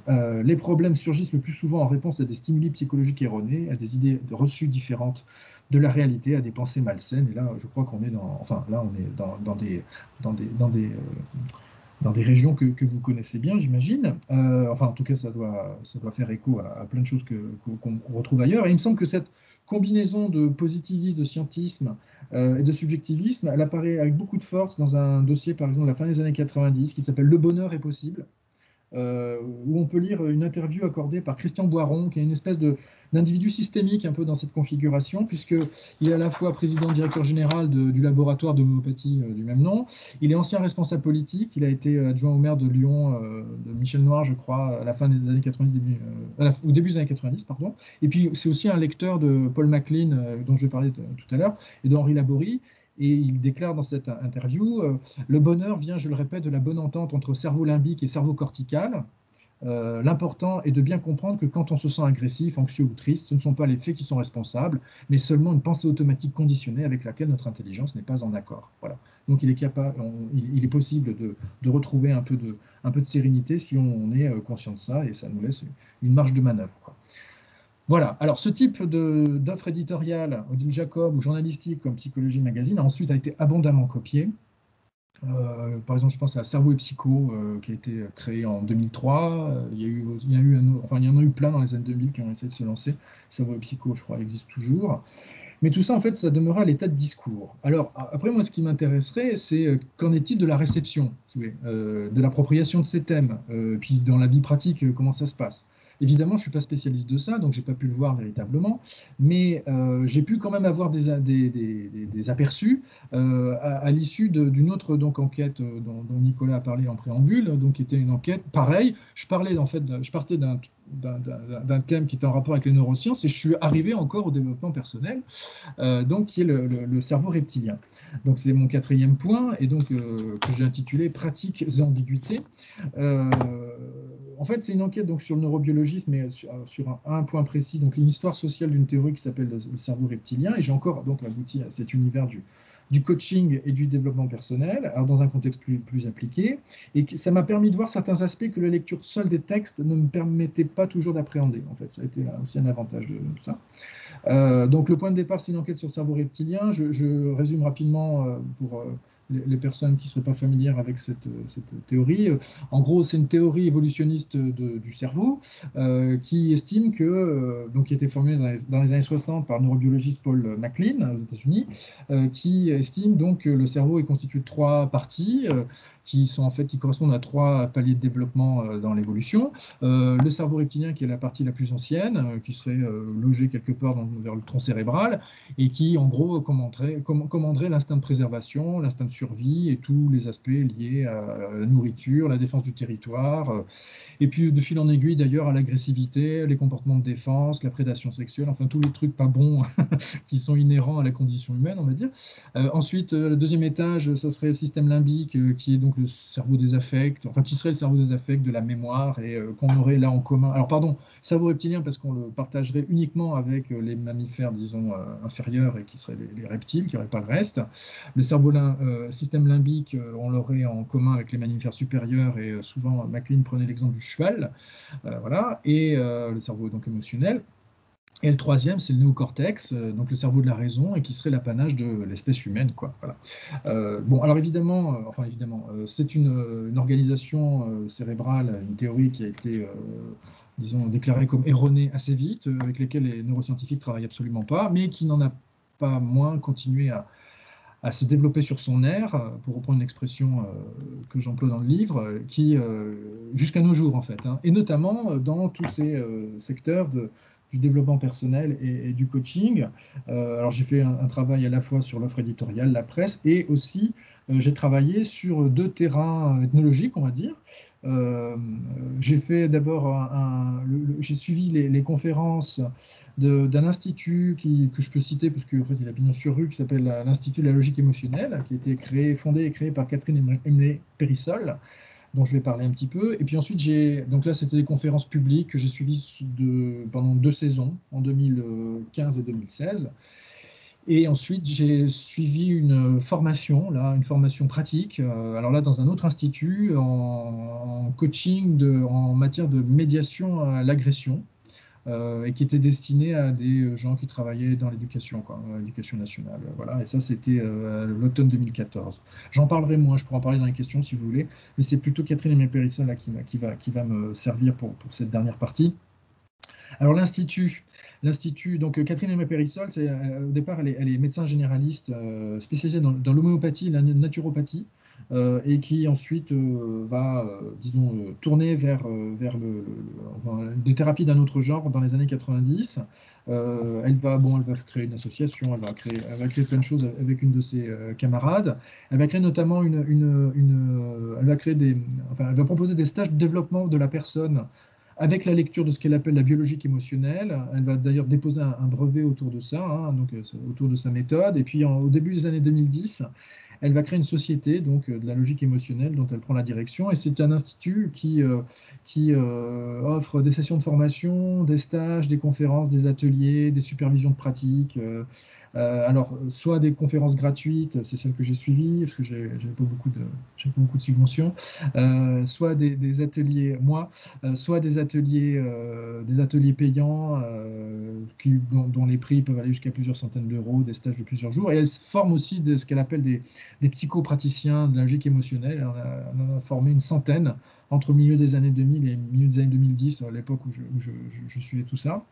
Euh, et ce qui est très intéressant, c'est que donc c'est, elle est véritablement dans le créneau du développement personnel, du coaching, elle est vraiment là-dedans. Et l'emblème de son institut, c'est un crocodile. Le crocodile, c'est en fait l'emblème de, MacLean, enfin de MacLean, c'est une notion euh, c'est la, comment dire, la, métaphore qu'utilise MacLean, l'allégorie qu'utilise MacLean pour parler du cerveau reptilien. Donc, véritablement, elle se positionne dans ce secteur-là en arguant de sa spécialité euh, neuroscientifique. Et donc, elle, elle, lie complètement cette notion neuroscientifique aux formations qu'elle propose, euh, où en gros, il s'agit de développer aussi la connaissance de soi-même, et notamment de ses émotions, euh, en vue de retrouver ce qu'elle appelle sa liberté d'action et de restaurer sa relation à autrui. Voilà. Donc, euh, je vais, vais vous, présenter ça. Je vais vous présenter aussi ce que vous connaissez peut-être pas. La, pensée de Catherine Aimé Périssol. voilà, en gros, le, donc ça c'est le site, ça c'est une copie du site qui date de ce week-end. et donc j'ai mis sur le côté le, texte qui est en fait coupé sur la, partie de, droite. Je vais vais pas vous le vous, vous, le mais en gros, ce qu'il faut retenir, c'est que voilà, la, grille de, lecture de l'Institut se fonde sur la neurobiologie, hein, vous le voyez euh, un peu sur la fin, euh, sur une neurobiologie qui est éminemment contestable, hein, mais ça, je ne développerai pas ça aujourd'hui, mais euh, elle, est véritablement sur, ce, créneau-là et cette, politique-là. Et donc, elle est a priori dans ce que j'ai décrit depuis le début, là, depuis bientôt une heure, c'est-à-dire un objectivisme très poussé au service d'un discours d'émancipation. Dès ses premiers essais, euh, Catherine Aimé Périssol avance que l'individu, par exemple dans une situation difficile, de stress, etc., a une partie de son cerveau qui agit tel un pilote automatique. Euh, c'est dans ce livre-là, qui, a, eu pas mal de succès, qui a été ensuite publié en poche. Hein. Donc, euh, elle, estime que voilà, c'est quelque chose qui est complètement dirige complètement notre comportement quand on est en situation euh, difficile, en situation de stress. Et euh, elle associe cette conception du cerveau et de son influence sur les comportements à ce qu'elle appelle une trinité de, besoins fondamentaux de l'espèce humaine, d'ailleurs qu'on pourrait rapprocher de, la pyramide des besoins de, Maslow, euh, les besoins physiologiques, les besoins d'appartenance, les besoins d'estime, etc ce qui est intéressant aussi, c'est qu'elle se fonde sur cette théorie, cette terminologie inspirée de Paul MacLean, mais elle ne le cite jamais en fait, quasiment jamais. Elle se réfère plutôt à Henri Laborie, qui est, on le retrouve encore ici, euh, qui est l'un des principaux introducteurs de la théorie de MacLean en, France. Elle mentionne beaucoup Laborie, elle conseille d'ailleurs à son public de lire ses livres et de voir le, film, le film qu'il a influencé, qui s'appelle, euh, enfin qu'il a co-écrit, qui s'appelle Mon oncle d'Amérique, euh, réalisé par Alain René il y a, 40 ans. Voilà. En, bon, en résumé, l'Institut s'appuie véritablement sur une interprétation particulière de la théorie de MacLean, une, une réélaboration pardon, de cette théorie, euh, un peu différente d'ailleurs que, celle de MacLean et de, son principal commentateur euh, Arthur Kessler, parce qu'en fait, MacLean et, et, Kessler voyaient le cerveau reptilien comme véritablement un, un, danger pour l'espèce humaine, si vous voulez. Hein. C'était un peu la, version, la version biologisée du, péché originel, hein, où Dr Jekyll et Mr Hyde, dans la présentation notamment qu'en fait Kessler à la fin des années 70, 60, pardon. Euh, donc il y a un aspect, euh, comment dire, il y a derrière le cerveau reptilien de MacLean, il y a l'idée, euh, une conception véritablement pessimiste de, de la, de, de l'être humain, de la nature humaine. C'est pas du tout, du tout le cas euh, chez, enfin pas du tout. C'est pas trop le cas chez euh, Catherine euh, Emily Périssol, qui voit ça plutôt comme un, argument pour rebondir et améliorer son existence. D'abord, elle, recourt aux, neurosciences pour cultiver une spécificité au, sein de la multitude des discours psy qui sont disponibles sur le marché. Alors là, je, renvoie à, je reviens vers vous. Euh, euh, quand elle est, en, conférence, elle est debout face à son public, évidemment, puis il s'agit d'entraîner le public dans une relation de confiance et de complicité aussi. Et donc, elle s'emploie dès le départ à faire un panorama de tous les protagonistes qui parlent de, psychologie et d'émotion, et notamment, parce que c'est son, créneau, hein, l'émotion. Euh, et en gros, elle explique que personne n'a rien compris et que, en gros, les protagonistes, les autres, sont des gens qui tiennent des discours assez ordinaires, traditionnels, très critiquables, et bon, elle cite elle cite, euh, je sais pas, Freud par exemple, et puis elle va aussi euh, citer les médias, les experts des médias, etc. Voilà. Donc en fait, elle, a, elle, a, se sert des neurosciences aussi pour cultiver un peu sa, sa, spécificité ou sa, singularité, et elle va euh, ancrer son discours sur une économie de la promesse en vous disant, voilà, je, en disant, voilà, je, je, débine tout le monde, mais vous allez voir ce que vous allez voir. et, ce qui est intéressant, c'est que quand elle fait ce, alors, je, je, m'apesantis un peu là-dessus parce que quand elle fait cette description du paysage de, la psychologie, du marché psychologique euh, dans les années 2010, ça déclenche des réactions dans le public. Ça déclenche des réactions dans le public euh, spontanées de gens qui racontent leur euh, trajectoire et qui disent qu'effectivement, tous les discours qu'ils ont entendus jusque-là ne leur convenaient pas. Et ce qui est intéressant, c'est que là, on se retrouve face à des gens qui, sont alors, qui font le récit de des récits de vie. Alors, ça dure pas longtemps, ça dure 5, 10 minutes. Mais euh, voilà, alors les assistants, c'était variable, c'était entre 15 et 50 personnes, hein, selon les soirs et selon les, euh, selon les thèmes. Euh, et à chaque fois, on avait des récits notamment de reconversion, des gens qui racontaient. Et là, on retrouve complètement en fait des, choses qu'on peut lire dans un livre que, dont, je vous recommande la lecture de Nicolas Marquis. Euh, sur la, euh, des gens qui sont à la recherche de réponses existentielles, qui sont à la recherche de reconversion professionnelle après des trajectoires qui ont été vécues comme des échecs. Euh, notamment dans l'éducation nationale, il y a énormément d'anciens professeurs dans, cette, dans ces publics-là, ou des gens qui sont en quête personnelle de réponses à des questionnements vraiment existentiels. Et là, véritablement, ça recoupe complètement ce que Nicolas écrivait dans, dans, son livre. voilà. Et alors, la réponse qu'elle apporte à ça, euh, c'est un discours qui est très objectiviste, très très objectiviste, qui a un causalisme très fort, euh, physio-psychologique, euh, enfin vraiment à fond les ballons. Excusez, pardon pour l'expression, elle, elle, évoque notamment une loi biologique selon laquelle il se produirait quelque chose dans le domaine corporel qui expliquerait par exemple le conflit. Alors j'ai noté cette phrase quand elle parlait. Hein. On peut retrouver les, les, conférences enregistrées sur le site de l'Institut. Elle dit voilà, ça n'a rien de magique, le conflit, c'est entièrement strictement biologique. Voilà. Hein. Euh, et alors, c'est généralement à ce moment-là, quand elle commence à dire c'est biologique, elle se tourne vers son paperboard et qu'elle commence à faire un dessin du cerveau triunique, le cerveau de MacLean que j'ai évoqué tout à l'heure, et qui déclenche aussi la réaction de certains participants qui le reconnaissent. Donc, il y a des effets de familiarité euh, culturelle, sans doute. Et euh, en gros, son, leitmotiv, c'est en fait, on devrait nous accorder nous-mêmes à notre réalité biologique et à la place de ça, on a tendance à occulter cette réalité biologique. On a, et la réalité biologique, pour elle, c'est les messages du cerveau reptilien. Euh, les cerveaux, le, message du cerveau reptilien, les messages du cerveau reptilien, en fait, traduiraient une sorte de réactivité, de sensorialité, de vulnérabilité. Et parce qu'en fait, on refuse euh, de quitter notre zone de confort, si vous voulez, pour parler par cliché, euh, et qu'on préfère fonder nos existences sur des idées, sur des idées toutes faites, des représentations, plutôt que sur des réalités organiques, eh bien en fait, ça crée des frustrations. Voilà en gros l'essentiel de son discours, et ça nous empêcherait de nous réconcilier avec nous-mêmes. Ça, c'est une, euh, euh, phrase qu'elle a prononcée le 13 novembre 2015, c'est-à-dire le soir euh, où s'est passé des choses à Paris et qui, évidemment, parfois nous empêchent de nous réconcilier avec nous-mêmes. la conséquence de tout ça, c'est qu'elle elle manifeste. en fait, je suis sorti de la, conférence et je me suis retrouvé dans le bazar, parce que j'habite pas très loin, enfin, c'est un peu particulier. Enfin, le, la, différence a été un peu bizarre à, vivre. Euh, le, Catherine manifeste une, préférence pour le concret, pour le réel, une méfiance pour l'abstraction, l'idéalisme, ce qu'elle appelle l'idéalisme, et donc ça se manifeste par cette priorité qu'elle accorde au corps. Euh, à l'écouter, donc le principal problème de l'être humain, ça résulterait de ce conflit entre d'un côté ces représentations idéales et notre rapport euh, corporel à la réalité. Elle ne cesse de répéter, on n'est pas de purs esprits pensants, euh, l'esprit domine le corps, ça c'est un rêve, c'est une idée qui relève du rêve, voilà. Et ça c'est un discours. Là pareil, en fait ce qui est intéressant, là on retrouve des choses que j'ai déjà un petit peu dites, sauf qu'elle elle force le trait et euh, le, public réagit aussi. Il réagit spontanément.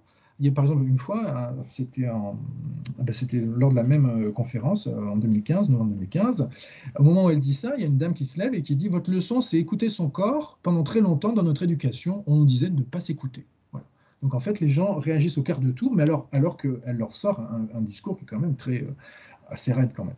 Euh, et, ce qui est intéressant aussi, c'est qu'en fait, euh, l'attention au corps, c'est pas une fin en soi chez elle, ça se double de quelque chose d'un peu plus profond, qui est une sorte de vitalisme.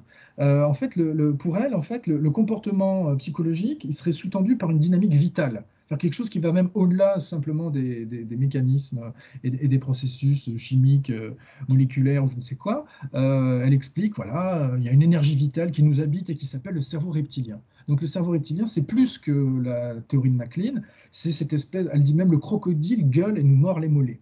Hein, voilà, ça c'est des citations que je sors des, conférences. Donc l'attention au corps, l'attention au cerveau reptilien, c'est pas une fin en soi, il y a derrière quelque chose d'assez, enfin plus profond. Et alors, à côté de ça, il y a quand même une, originalité, c'est-à-dire qu'on pourrait se dire, après tout, cette vision euh, axée sur le vitalisme, ça pourrait déboucher sur euh, un appel à l'action, un appel à allez-y, euh, faites tout péter, et, vivez votre vie, etc. Et au contraire, ça va se traduire, et c'est ça où là on a peut-être une différence par rapport à ce que je pouvais lire chez Lee Jacob ou dans Psychologie, même si c'était un peu sous-entendu quand même, c'est qu'il y a une injonction au réalisme une injonction au réalisme qui est particulièrement sensible euh, dans, certaines conférences qui sont consacrées au, conflit euh, qu'elle a tenu par exemple durant l'automne 2015. Euh, c'est qu'en gros, voilà, à partir du moment où vous, reconnaissez certaines réalités biologiques, vous devenez réaliste et vous ne faites pas des idées. En gros, vous n'allez pas mourir pour des idées. il y a une réalité d'être qui dépend de paramètres biologiques qui sont relativement indépendants des décisions euh, de tout un chacun. Voilà. Et donc, quand vous êtes euh, en, conflit euh, avec quelqu'un ou avec une institution, avec votre patron, je ne sais quoi, en fait, c'est peut-être pas la peine de s'énerver tant que ça, parce que les raisons ou les motifs de dissension, ils ne sont pas forcément à chercher dans les raisons abstraites que vous vous faites sur un idéal de justice ou de, je sais pas, de domination ou d'inégalité ou tout ce que vous voulez.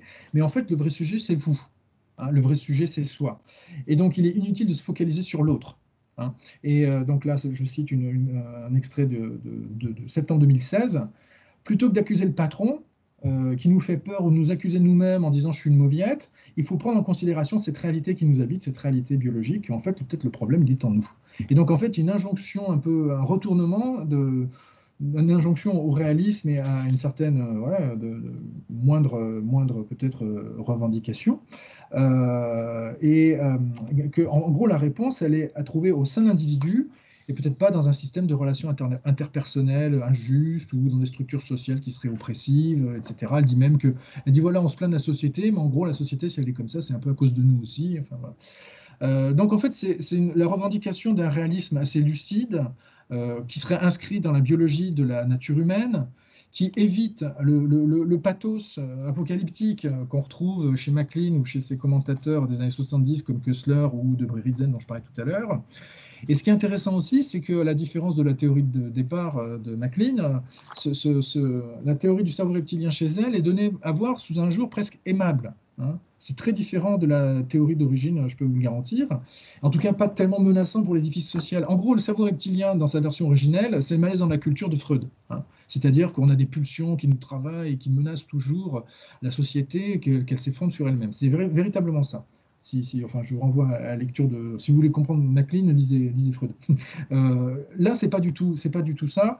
Euh, en fait, le crocodile, on peut l'apprivoiser, c'est le titre euh, de, son bouquin. Hein. Donc en fait, le, crocodile, on peut le domestiquer, euh, et on peut le domestiquer notamment dans des sessions de formation dans son institut, euh, donc qui cherche aussi à vendre des solutions à un public qui est désireux d'améliorer son existence. Donc il faut mettre ça aussi dans le contexte social, qui est la, conférence et la fréquentation de, l'institut. Donc en, résumé, tout en développant une approche très réductionniste du comportement humain, Catherine Lepérissol, elle entend montrer à son auditoire, je la cite, euh, que euh, comment une meilleure connaissance du cerveau peut nous aider dans notre posture euh, relationnelle. Elle propose à son public un, programme d'autonomie individuelle qui est fondé donc sur une connaissance neuroscientifiquement garantie des ressorts du comportement. Mais le but, c'est de récupérer, dit-elle, du libre arbitre vis-à-vis de ces réalités biologiques et d'aider les gens à se réconcilier avec leur existence. Donc là, on retrouve aussi des choses qui étaient présentes dans, le, dans, la production de Lise Jacob. Elle s'adresse à un auditoire qui a fait la démarche de s'inscrire à des conférences organisées en soirée et en semaine, donc euh, des gens motivés visiblement. Euh, et euh, donc le discours, je pense qu'il doit quand même, il se doit d'être optimiste. Hein. là, on est dans une espèce de, vraisemblance commerciale aussi. Et par exemple, il y a une, participante, alors parfois il y a des gens qui renaclent, hein. il y a une participante qui prend la, parole et qui, bon, elle se déclare hypersensible, elle souffre de ça, etc. Et elle dit que même si on connaît tout ça, même si on fait de la méditation pleine conscience, même si on connaît son schéma, etc., ben, moi, ça me j'ai du mal. Et elle répond, vraiment en l'assurant, elle était vraiment euh, convaincue de son truc, elle dit voilà que la simple prise de conscience étayée par la science de ces difficultés, c'est un premier pas vers la résolution euh, de ces problèmes. Bon. Euh, alors, on pourrait faire des comparaisons intéressantes entre, je peut-être pas le temps parce que je vois que l'heure tourne, entre sa démarche vis-à-vis du cerveau reptilien et des neurosciences, et puis la façon dont la psychanalyse avait été importée aux États-Unis elle a été importée aux États-Unis, avait, avait été euh, euh, dépouillée de tous ces aspects un peu menaçants. Euh, En gros, le, le, ça ou les pulsions de mort, etc., avaient été euh, un peu oubliés et, édulcoré dans la version américaine qui a connu beaucoup de succès entre 1900 et 1960, on va dire, et euh, au bénéfice de quelque chose qui était euh, plus euh, dynamique et, disons, avec aussi l'émergence de ce qu'on appelait la force vitale. Hein. Il, y aurait des, il y aurait des, il y aurait des, euh, comparaisons, euh, des parallèles intéressants à faire. Bon, je ne développe pas. Ce qui est intéressant, c'est que, euh, enfin, ce que continue à faire Catherine Périssol, c'est pas de se contenter de faire des, conférences pour, disons, des particuliers. Elle exporte aussi sa, pratique vers le management, vers les entreprises. donc là, je, vais, ferai juste que, citer attendez. Ouais, c'est ça, voilà. Donc là, c'est euh, une des rubriques de son, site.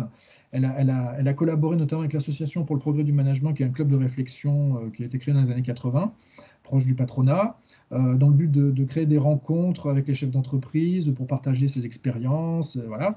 Et donc, euh, elle, voit, sa, méthode comme pouvant être utilisée aussi dans, ce cadre-là. et donc, ce type, de, formation, ce type de démarche n'est pas isolé. Donc, j'en ai suivi une autre de ce type à l'automne 2014 qui était consacrée à la médiation des conflits. Là, c'était encore plus intéressant parce que le formateur était a été un monsieur qui était complètement autodidacte en neurosciences. Alors lui, qui était passé par les, par RH, euh, qui avait été euh, dirigeant d'entreprise et, euh, qui était spécialisé dans les, relations de ressources humaines, et qui s'était reconverti à la médiation parce qu'en fait, j'ai fait un long entretien avec lui et il m'expliquait que, ses intérêts allaient vers l'humain. Ça allait vers l'humain. Mais il avait une conception aussi très, très objectiviste de, la, de, des comportements. Et il se, il se, servait du cerveau reptilien et d'une certaine terminologie neuroscientifique pour délivrer ses conseils d'écoute et d'empathie à un public non spécialiste. Bon, je ne développe pas, si vous voulez, on pourra, en revenir dans, la discussion. Euh, alors, en conclusion, les neurosciences, et en particulier les cerveaux reptiliens, moi, me sont apparus convoqués dans, ces exemples très brefs. Hein. je ne prétends pas du tout être un spécialiste de ça, mais dans l'intervention psychosociale telle que j'ai pu euh, y assister, euh, au moins pour trois raisons. la première, c'est que le, le, recours aux neurosciences, et en particulier au cerveau reptilien, ça remplit une fonction essentielle pour un certain nombre d'entrepreneurs de morale, euh, coach, formateur, les gens que je viens d'évoquer. Euh, alors, le cerveau reptilien peut être dans différents cas qualifié, enfin, il y a plein d'expressions euh, différentes, mais c'est surtout présenté donc, dans des sessions qui sont destinées à un public qui est non spécialiste et qui est présenté comme un facteur d'explication centrale, et ça sert à légitimer en fait les discours, des pratiques, euh, alors le rôle euh, tenu par le cerveau et les neurosciences n'est pas exactement le même chez Catherine Aimé Périssol que chez le, monsieur que je viens de que, je viens d'évoquer rapidement. Mais en gros, c'est quand même l'idée que ça sert à légitimer quelque chose qui ensuite parfois n'a pas de rapport avec les neurosciences. En fait, c'est un discours qui légitime ensuite des conseils et des pratiques, mais sur lesquels en fait les neurosciences euh, en fait sont assez absentes. Au point que ça pourrait très bien être formulé sans le recours aux neurosciences. Il y a, quelque chose. C'est juste que voilà, c'est un discours, presque un discours d'autorité, si vous voulez, qui sert à instaurer un ordre légitime dans le cadre de la formation. Euh, je, vois qu'il est une heure et quart, j'avance. La deuxième raison, ça tient au public. Euh, et à la nature pédagogique que se trouve euh, revêtir euh, des termes comme cerveau reptilien, même les neurosciences, enfin une, version vulgarisée des neurosciences. Dans le type de, configuration que, que j'ai décrit rapidement, en fait, tout repose sur la promesse d'une amélioration, sur la fourniture de préceptes pratiques pour mieux conduire sa vie, face à des publics qui sont en attente de solutions, hein, clairement. Alors, soit d'un point de vue personnel, existentiel, ça c'est Catherine et Périssol, ou dans la formation que j'ai suivie, c'était des gens qui bossaient comme euh, pions euh, dans les collèges en Seine-Saint-Denis, quoi. Hein. donc, euh, voilà, ils venaient pour, pour avoir des, des, idées, quoi. Et donc, là, la mention du cerveau reptilien, elle facilite sans doute l'adhésion, parce que c'est une ressource qui relève à la fois du langage savant, mais aussi du langage imagé. On a l'impression que tout le monde voit à quoi ça, renvoie. C'est rassurant aussi par son apparente familiarité. Alors, dans le cas du cerveau reptilien, euh, c'est entretenu par une euh, trajectoire culturelle qui est riche. Hein. Ça fait plus de 50 ans que ça traîne dans, différents espaces euh, culturels. et alors là, en fait, moi, ce que j'ai senti, c'est que le recours au cerveau reptilien, et aux neurosciences en général, ça dispensait moins de réelles informations sur la psychologie humaine chez les, chez les intervenants, que ça aidait le public euh, alors là, je, vais citer une, chercheuse qui a bossé, qui s'appelle Anne-Laurence Lay. Euh, je la cite, elle dit ça, ça, a aidé le public à construire des dispositifs d'apprentissage, euh, des dispositifs d'appropriation, d'adaptation au savoir qui ensuite allait être prodigué. Hein. Donc en fait, c'est une espèce d'élément de facilitation pour entrer dans, la, dans la formation. Donc ça favorise en gros le, consentement à la démarche qui va être proposée ensuite de réforme de soi-même quand même, hein, qui est exposé par les intervenants. Donc là, il y a un aspect de facilitation qui n'est pas forcément lié du coup à son exactitude neuroscientifique, euh, et même pour dans le cas du cerveau reptilien, euh, c'est vraiment le cas de le dire. Et ça m'amène à la troisième raison de la popularité du cerveau reptilien dans ce secteur-là, c'est sa dimension consolatrice. Ça, c'est quelque chose auquel je n'avais pas pensé au départ et sur laquelle j'aimerais terminer. Euh, même si je vois qu'il est une heure et ça fait une heure et quart que je bavarde, euh, euh, la, dimension consolatrice qui est inhérente à la mobilisation de la notion de MacLean pour le développement personnel. Et voilà. Là, dans, le livre, je, cite un, article de Nicolas. Je vais me permettre de, le relire un petit peu, si, si, sa modestie proverbiale n'y voit pas d'inconvénient. Quand, voilà, il écrit dans un article de 2017 pour la revue du Crieur, quand un phénomène comme le développement personnel traverse les époques, c'est probablement qu'il remplit une fonction à un autre niveau que celui sur lequel il promet d'agir, celui de permettre à chacun de continuer à croire en ses chances et de devenir quelqu'un. Euh, et, cette, promesse prend une résonance particulière dans un monde où les leviers dont on dispose pour agir sur sa propre vie sont objectivement de plus en plus hors de portée. Cette interprétation euh, du succès euh, de, la référence à ce type de, discours neuroscientifique, moi, m'amène à, à, penser que en fait, une notion comme celle de cerveau reptilien, ça offre au public une possibilité d'élaborer leur propre interprétation de leur malaise de leurs problèmes respectifs. Et euh, dans le bouquin, je, mobilise même une expression de Goffman, hein, c'est-à-dire sauver la, face. Euh, en gros, ça permet de gérer ces insatisfactions sur un mode d'acceptation librement consenti. Et euh, dans ce, en, ce, en, ce, sens, on se trouve dans une configuration qui est proche aussi de celle que décrit Scarlett Scalman dans son travail sur le coaching en entreprise. Je la cite hein, dans un article de 2008. Le travail du coach a consisté à conduire au renoncement, puis à un retournement de perspective qui amène finalement à rebondir il me semble qu'en fait, la mobilisation des neurosciences dans ce type de configuration, ça, ressemble beaucoup à ça. Alors, pour terminer, euh, euh, c'est cette idée de consolation sur laquelle en fait j'avais jamais réfléchi et qui m'est retombée dessus quand je préparais cette, présentation. Euh, L'association de l'objectivisme biologique à tout craint que j'ai essayé de vous développer, et puis la promesse derrière d'autonomisation. Hein. Alors, je ne vais pas dire empowerment, parce que j'ai appris qu'en français, on en traduisait par autonomisation, voire capacitation, donc on va rester entre francophones. Euh, ça me semble donc se doubler, d'une autre thématique euh, qui est celle de la, consolation. Alors, ça a l'air un peu, bizarre comme ça, mais alors, c'est un angle qui a été euh, Hmm, comment dire, pris par certaines analyses de la réception du développement personnel et même de la psychologie populaire en général depuis 40 ans quand même, il me semble. Moi, je, je l'ai trouvé un peu chez Castel dans la gestion des risques. Je l'ai trouvé beaucoup chez Moget et Poliac euh, dans l'analyse qu'ils font du lectorat du développement personnel, qu'ils interprètent comme littérature de salut. laïcisée, quoi. Hein. et, mais généralement, quand, ils, approchent cette, cette notion-là de consolation, ces auteurs-là, que j'aime beaucoup par ailleurs, euh, c'est une qualification qui n'est pas très laudative en fait. Euh, c'est un peu pour critiquer, pour dire euh, c'est un discours de consolation, donc ça peut être interprété comme un discours de résignation qui masque les vrais problèmes, qui désarme les gens, etc. Et c'est vrai, c'est absolument vrai. Mais si on veut aller un peu plus loin, en fait j'ai pensé à, je pensais à Zimmel. Zimmel écrit, je terminerai là-dessus, l'être humain est un être qui cherche la consolation. Donc c'est une proposition anthropologique hein, quasiment, que moi j'aime beaucoup. Euh, et en fait, je l'ai trouvé en, bossant sur un philosophe qui, me sert pour travailler sur les métaphores aussi, parce que j'ai un, chantier là-dessus, Blumenberg. Blumenberg écrit à un moment donné, ici, il commente cette phrase de Zimmel, il dit « La consolation repose sur la capacité générale de l'homme à déléguer, à ne pas devoir faire et porter lui-même seul, et seul, pardon, tout ce qui l'accable et l'assaille. Et selon Blumenberg, Zimmel voit dans la consolation une catégorie fondamentale de la réalité humaine. Et euh, alors évidemment, c'est une proposition anthropologique, donc là on est un peu plus loin que la sociologie, mais il, écrit voilà, aussi bien un évitement de la confrontation avec la réalité que la possibilité d'atténuer au moins la conséquence qui en découle, de la répartir, de la partager avec d'autres, de la déléguer institutionnellement. Il me semble que ça, c'est central dans ce à quoi j'ai pu euh, assister, euh, que ce soit en réalité avec les gens ou en lisant les ouvrages ou les, les articles de presse, et que j'ai vu les premiers effets de la réception de ces séances et des formations. Voilà. Il m'a semblé que les, formateurs tentaient de répondre paradoxalement à ce besoin de consolation devant des situations et des états qui appelaient une parole. Et dans cette configuration, le passage par les neurosciences au-delà de sa dimension indéniable de discours d'autorité, hein, il n'y a aucun problème là-dessus, c'est peut-être aussi à considérer comme cette tentative un peu paradoxale de remettre la, signification et la gestion de réalités déplaisantes aux soins d'une objectivité qui serait vue comme naturelle. Je vous remercie de votre attention. Merci, merci beaucoup euh, Sébastien. Bah, tout ça était passionnant. Je trouve ta, ta, conclusion, enfin en tout cas moi, me parle, me, me, parle énormément. Euh, j'ai aussi appris que donc en, te lisant qu'on pouvait breveter, des expressions telles que logique émotionnelle, ce qui est quand même, euh, vraiment très intéressant. sans, plus attendre, j'ai toute une série de questions, mais je propose qu'on, comme d'habitude, on passe d'abord la parole à Solène et Gaspard. Oui, je commence Solène? Ok.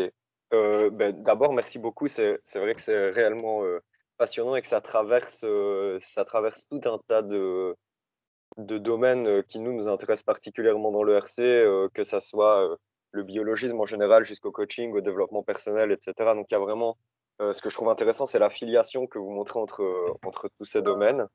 Et moi, il y, a une, question qui m'est venue en lisant quelques articles sur, sur votre dernier, dernier livre sur sur le, cerveau reptilien. Euh, la question qui, m'est venue, et euh, je, vais, reprendre le titre de votre présentation, euh, le neurobiologie peut-il être un humanisme? Alors, je trouve que ce qui est intéressant, c'est que l'idée de l'humanisme des Lumières, c'est que la raison, comme instrument de découverte du vrai, en, termes de, correspondance entre, entre une assertion quelconque et le réel, finalement, c'est cette idée que voilà, la lumière en fait vient de la raison et la raison comme instrument de, découverte du vrai. Et euh, vous, vous choisissez euh, d'emblée euh, de travailler sur une idée fausse en fait, sur l'idée du cerveau reptilien qui est démontrée fausse et erronée. Alors, je, vois bien les vertus méthodologiques du, point de vue, du point de vue du travail du sociologue, mais euh, en même temps, je, me pose euh, cette question que, euh, vu qu'on a cité, que vous, avez cité quelques, quelques auteurs, je vais le faire aussi, en, partant de la, soit de la proposition de Bourdieu, selon laquelle il n'y a pas de force intrinsèque de l'idée vraie, ou alors de la proposition que nous on aime bien, ici de Durkheim, et que Alain a repris dans La mécanique des passions, publié chez Odile Jacob, justement, soit que pour qu'une idée ait une efficacité sociale, il ne faut pas seulement euh, j'insiste sur le seulement qu'elle soit vraie, il faut aussi, et peut-être surtout qu'elle soit crue. Euh, alors, ce seulement sur lequel j'insiste, je trouve, renvoie tout de même à l'idée qu'il existe un, lien ténu, euh, ou en tout cas que l'efficacité sociale d'une idée n'est pas tout à fait indépendante de la véracité de l'idée. D'ailleurs, juste pour réinsister là-dessus, Alain, dans, dans, une présentation de son livre chez Mola, euh, qui est disponible sur YouTube et que je vous invite à regarder si vous n'avez pas le temps de lire l'ouvrage, euh, dit que son, le, travail sur l'efficacité sociale des neurosciences est relativement indépendant du, fait que les résultats des neurosciences soient vrais ou pas, soient avérés ou non. Alors, euh, moi, je me pose la, question de qu'est-ce que ça dirait En fait, quel, quel est le, qu'est-ce qu'on pourrait dire de, qu'est-ce que vous pourriez dire de votre travail si l'idée de départ était vraie? Est-ce qu'on peut euh, réellement dire euh, que même si euh, je reconnais, comme je l'ai dit, l'utilité méthodologique et épistémologique du point de départ de prendre une idée fausse, est-ce qu'on peut réellement toujours repousser ce qui intéresse les sociologues, soit l'efficacité sociale d'une idée, dans une position qui refuse de s'occuper en fait du caractère vrai ou faux de l'idée? Et donc voilà, je voudrais vous entendre là-dessus. Et après, je voudrais aussi vous entendre un peu plus sur, et là c'est un point peut-être un peu plus concret, moins théorique, qui parle plus sur, sur le, le terrain qui m'occupe dans ma thèse, c'est de, détailler peut-être un petit peu cette espèce de coaching sur l'éducation auquel vous avez assisté, où voilà, il y avait cette formation de prof de l'éducation nationale. En fait, ce qui m'intéresserait de savoir, c'est si vous savez si ces profs ont, ont ensuite adapté et comment ils adaptent ça dans des contextes d'enseignement concrets et en fait, comment on passe de euh, finalement une situation où il y a un coach pour les profs et puis les profs deviennent coach pour coacher leurs élèves, en fait, entre guillemets, et cette transition. Euh, mais après, je, je, sais que ce n'était pas tout à fait l'objet de votre travail, donc je ne sais pas si vous avez des, des infos là-dessus, mais ça m'intéresserait bien de savoir. Voilà, mes deux questions. Et encore merci pour la présentation. Je, je réponds de suite? Ou j'attends les réponses de les questions de Solène? Non, je vais. D'accord. Vas-y, vas-y. Euh, bah, pour, pour euh, la, votre deuxième question, en fait, euh, c'était pas des profs, hein, c'était des, des assistants, enfin des surveillants, quoi. Des surveillants ou des, des gens, un type, des conseillers d'éducation. Et c'était vraiment, vraiment, c'était même des gens des contractuels. Donc, en fait, j'ai pas eu de, j'ai pas eu de retour euh, de, enfin j'ai aucune idée de comment ils allaient se débrouiller avec ça ensuite. En revanche, ce que je savais, c'est que l'animateur euh, avait euh, plusieurs, était plusieurs fois intervenu dans des collèges de la de la région parisienne et qu'il il en avait l'habitude, quoi. Après, euh, je ne peux pas vous donner les, détails de, l'affaire parce que je crois que maintenant ça va être un peu difficile de reprendre contact avec lui. Mais euh, ouais, voilà. Mais il avait l'habitude, il, avait l'habitude d'intervenir dans, les collèges, dans euh, auprès des forces de l'ordre aussi, et aussi dans des tribunaux. Voilà. Donc après, ce que les gens en faisaient exactement, je ne sais pas. C'est d'ailleurs une limite, c'est une limite de, toujours de ce genre de travail. Hein. C'est-à-dire que soit on travaille sur des sources écrites et puis on ne sait pas ce que les gens en font, euh, soit là on est face à des, on se rapproche un petit peu du stade euh, pratique, mais on ne sait pas exactement euh, comment ensuite ça se passe. En tout cas, comme c'était effectivement pas ma, c'était pas ma visée principale, j'ai pas, j'ai pas poursuivi et ça serait, je, serais, intéressé d'ailleurs de savoir si, si, vous, si vous arrivez à, voir comment ça fonctionne. D'accord.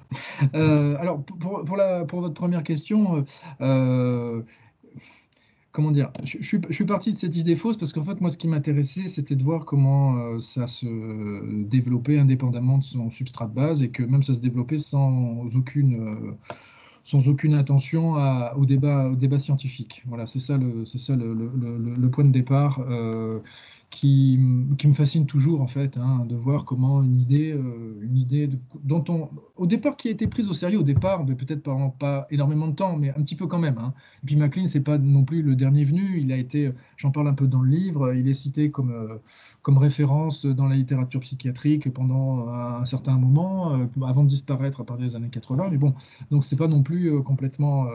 Mais ce qui m'intéressait, c'était de voir comment ça divergeait petit à petit jusqu'à produire et que le monde, le monde culturel assez logique que euh, le monde euh, scientifique euh, parfois ignore et réciproquement. pour, pour, tout vous dire, actuellement, je commence juste un, projet avec Nicolas et Baptiste autour d'une idée vraie qui est celle de la plasticité. Donc en mhm. fait, l'un des buts, c'est de justement bah, voir, enfin, dans mon cas, de, reprendre un peu la même méthode et voir ça à partir d'une idée, d'une idée qui n'est pas erronée. Donc ça, ça m'intéresse beaucoup, mais je, je, comment dire, j'ai quand même deux ou trois idées déjà sur la question. Et euh, sur euh, l'idée de, la, véracité, euh, je n'ai pas de. Comment dire En fait, je, crois que c'est indépendant. Il y a énormément d'idées fausses qui sont crues, socialement crues, et il y a des mécanismes sociaux qui permettent de les faire tenir pour vraies. c'est ce que. Enfin, bon, peut-être que je tords un peu le, le coup à la notion, mais Foucault parlait de régime de vérité. Euh, c'est-à-dire la façon dont la vérité euh, est tenue avec toutes les épreuves qu'on exige, pour qu'elle soit tenue pour vraie, pour qu'une une proposition soit tenue pour vraie. Et ça, ça, ça, ça m'intéresse beaucoup. mais ça ne remet pas en cause la véracité de certaines idées. Mais peut-être contrairement à vous, je n'aurais pas tendance à croire qu'une idée, parce qu'elle est vraie, elle a forcément une force intrinsèque qui lui permet de s'imposer à tout le monde. Je suis un petit peu plus pessimiste peut-être, ou un peu plus prudent qu'Alain. J'imagine que vous, êtes, vous parlez d'Alain Ehrenberg. Mm-hmm. Ouais. Euh, je, je, je, pense que peut-être à, la fin des fins, les, les idées vraies euh, s'imposent euh, du fait de leur, de leur qualité intrinsèque, mais je pense que ça prend un peu plus de temps que ça, et surtout qu'il y a beaucoup de concurrence avec des idées complètement farfelues qui, elles, sont tenues pour vraies pendant un long moment. Et ça, il me semble que c'est le travail des sociologues de, de, de, distinguer les uns des autres. Ça ne veut pas dire nécessairement qu'il ne faut pas s'intéresser aux idées vraies. Enfin, je... C'est pas, du tout, pas du tout mon idée. Hein. J'étais parti, j'étais parti de ça parce qu'en fait, ça me permettait véritablement de faire la part entre euh, les affabulations et voilà. Mais, sur la plasticité, je pense qu'on va arriver à des choses aussi qui, euh, qui, vont, être, qui vont être intéressantes. C'est ça, oui. Moi, c'est aussi quelque chose qui me, enfin, qui me pose question à chaque fois. C'est euh, finalement, en, choisissant de, de, de, travailler comme ça, et c'est effectivement, je, je l'ai dit, hein, méthodologiquement, épistémologiquement, c'est évidemment, ça révèle beaucoup sur la façon dont au plan social, une idée fonctionne socialement pour vraiment rester dans le sociologico-sociologique. Mais en même temps, voilà, oui, je me pose aussi la question de est-ce que la sociologie peut toujours faire fi de ce qui, de, de, de, la, de la vérité, du rapport entre. Vous voyez, il y a toujours cette idée de ah, mais si c'est social, alors c'est potentiellement faux. Vous voyez, de, de, qu'on va, qu'on va retrouver euh, euh, très fort dans le constructionnisme, par exemple, où ça pourrait ne pas ah être comme ça. Mais en même temps, moi, c'est ça qui m'intéresse, c'est de dire oui, ça pourrait ne pas être comme ça, mais en attendant, si cette idée est, vraie, après, moi, je suis un réaliste. Bah, le problème, c'est que si, si, elle était, enfin, le problème, c'est que même si cette idée était vraie, ça n'empêche pas qu'elle soit aussi euh, déformée, adaptée n'importe comment. Enfin, euh, je, pense que malheureusement, c'est indépendant. Euh, j'ai je, il me semble que je le dis au début du livre, euh, il y, a, des, euh, y a des réalités intrinsèques sur lesquelles la sociologie n'a pas grand-chose à dire. Enfin, euh, moi, ça me, ça, me va. Enfin, je suis tout à fait à l'aise avec cette question.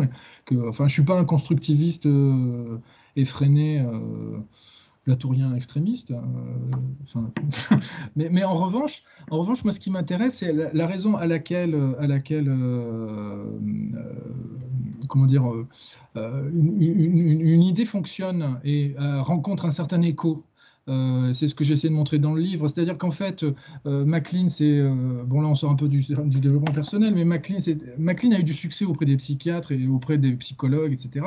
Parce qu'en fait, il avait plaqué sur ses découvertes le, schéma de, le schéma de Freud. Et donc, ça, ça, a fait sens, ça a fait écho. Et c'est pour ça que ça a été en partie perçu comme quelque chose de vrai et d'intéressant. Donc, euh, il me semble que c'est ça, que voilà, ça a été cru vrai en, raison des, échos euh, que ça renvoyait, euh, culturels. Je, remonte même à, Nietzsche et à Platon, etc. il y a des schémas culturels que, que cette théorie faisait fonctionner. Et j'imagine qu'une théorie vraie peut aussi faire fonctionner ce type de ce type d'écho et comment dire s'appuyer là-dessus pour passer pour passer dans le monde social. D'ailleurs, peut-être d'ailleurs à comment dire pour de mauvaises raisons aussi. Moi, j'ai mmh. quelque chose aussi d'un peu réticent par rapport à ça parfois. Mhm. Ah, oui, Alain complète dans le, chat en disant euh, bah, effectivement ce qui va, ce qui va dans, dans, dans ton je, suis absolument, d'accord. du problème du succès. Il faut encore la croyance. La croyance, absolument. Et cette croyance, elle, elle, s'alimente, elle s'appuie sur, euh, sur des effets de familiarité, euh, des, des, échos culturels, puis aussi des conformations sociales. Je pense que le, ce que j'ai rapidement décrit dans les dans, ces formations-là. C'était aussi un petit peu un, microcosme, euh, voilà, avec une personnalité charismatique, euh, parce que le, le, deuxième formateur en particulier euh, sur lequel j'ai travaillé était quelqu'un qui était particulièrement charismatique et qui faisait passer des idées qui, ensuite, quand on les reprenait à l'écrit, à, froid, étaient complètement... si, si, je peux me permettre un petit point avant de, passer la parole à Solène, je, je, pense, en ayant vu aussi comment ça se passait auprès de lecteurs de développement personnel, que même dans l'interaction avec l'idée en question ou dans les microcosmes dont tu parles, à un moment, la question de la vérité, elle est, tout à fait secondarisée en quelque sorte par rapport à celle de, l'efficacité. C'est-à-dire que euh, à partir d'un certain moment, euh, on se dit qu'une idée est tellement porteuse, par exemple cette idée de cerveau reptilien renvoie tellement à toute une série de choses qui ont une efficacité par rapport à ce qu'on maîtrise ou ce qu'on ne maîtrise pas, par rapport à cet aspect de consolation que tu évoques que je trouve super intéressant, qu'elle ne peut pas être complètement fausse. euh, ou, même un pas plus loin, que la question de savoir quel est son degré de vérité ou pas euh, dans des discussions scientifiques qu'on ne maîtrise pas, mais finalement, on s'en fiche un peu. Euh, ce qui est important, c'est ce qu'elle permet de mettre en mots, la, différence qu'elle peut faire dans la, façon de se rapporter à soi ou dans la façon de, faire valoir à autrui quelles sont ses difficultés, etc. Donc, ça, je pense que c'est un point important. Solène? Oui, merci beaucoup. Euh, bah, bonjour à toutes et à tous. Merci beaucoup hein, pour votre présentation euh, qui, qui, permet vraiment de faire beaucoup de liens avec d'autres présentations du séminaire ERC. J'en suis. Et comme l'a rappelé Nicolas, voilà, votre présentation clôt notre cycle de séminaire pour cette année. Et je voudrais revenir en fait sur, sur plusieurs points que vous avez évoqués en lien avec la première présentation qu'on a eue le plaisir d'écouter euh, cette année et qui était donc celle d'Alain Ehrenberg sur euh, le potentiel caché et euh, les neurosciences. vous avez cité à, plusieurs reprises un peu des mots-clés du projet, hein, notamment à un moment vous avez dit l'idée de transformer un handicap en atout, avec Didier Pleu l'idée d'épanouir son potentiel. Et ce que je trouve très intéressant, quand j'ai découvert un petit peu vos, recherches sur le cerveau reptilien, je me suis dit, peut-être que c'est une réponse à la première question que j'avais posée euh, pendant le, séminaire ERC à Alain Ehrenberg. Donc, je vais vous résumer un petit peu pour voir les liens possibles.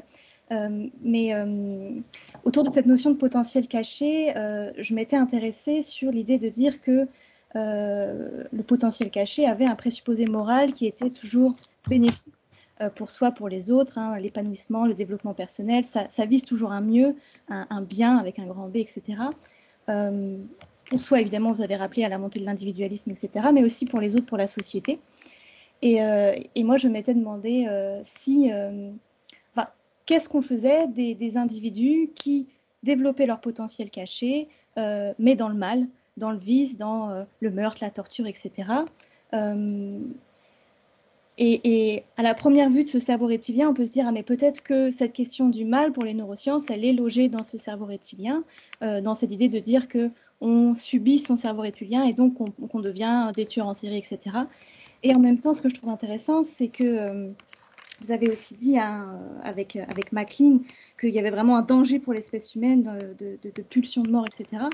Euh, et, après, vous avez, vous avez dit aussi que le, crocodile, on peut l'apprivoiser, hein, d'où le titre euh, du livre que vous avez cité. Et j'ai l'impression que c'est un petit peu la vision, soit on subit son cerveau reptilien, soit on agit et on dépasse ce cerveau en utilisant euh, le néocortex, etc.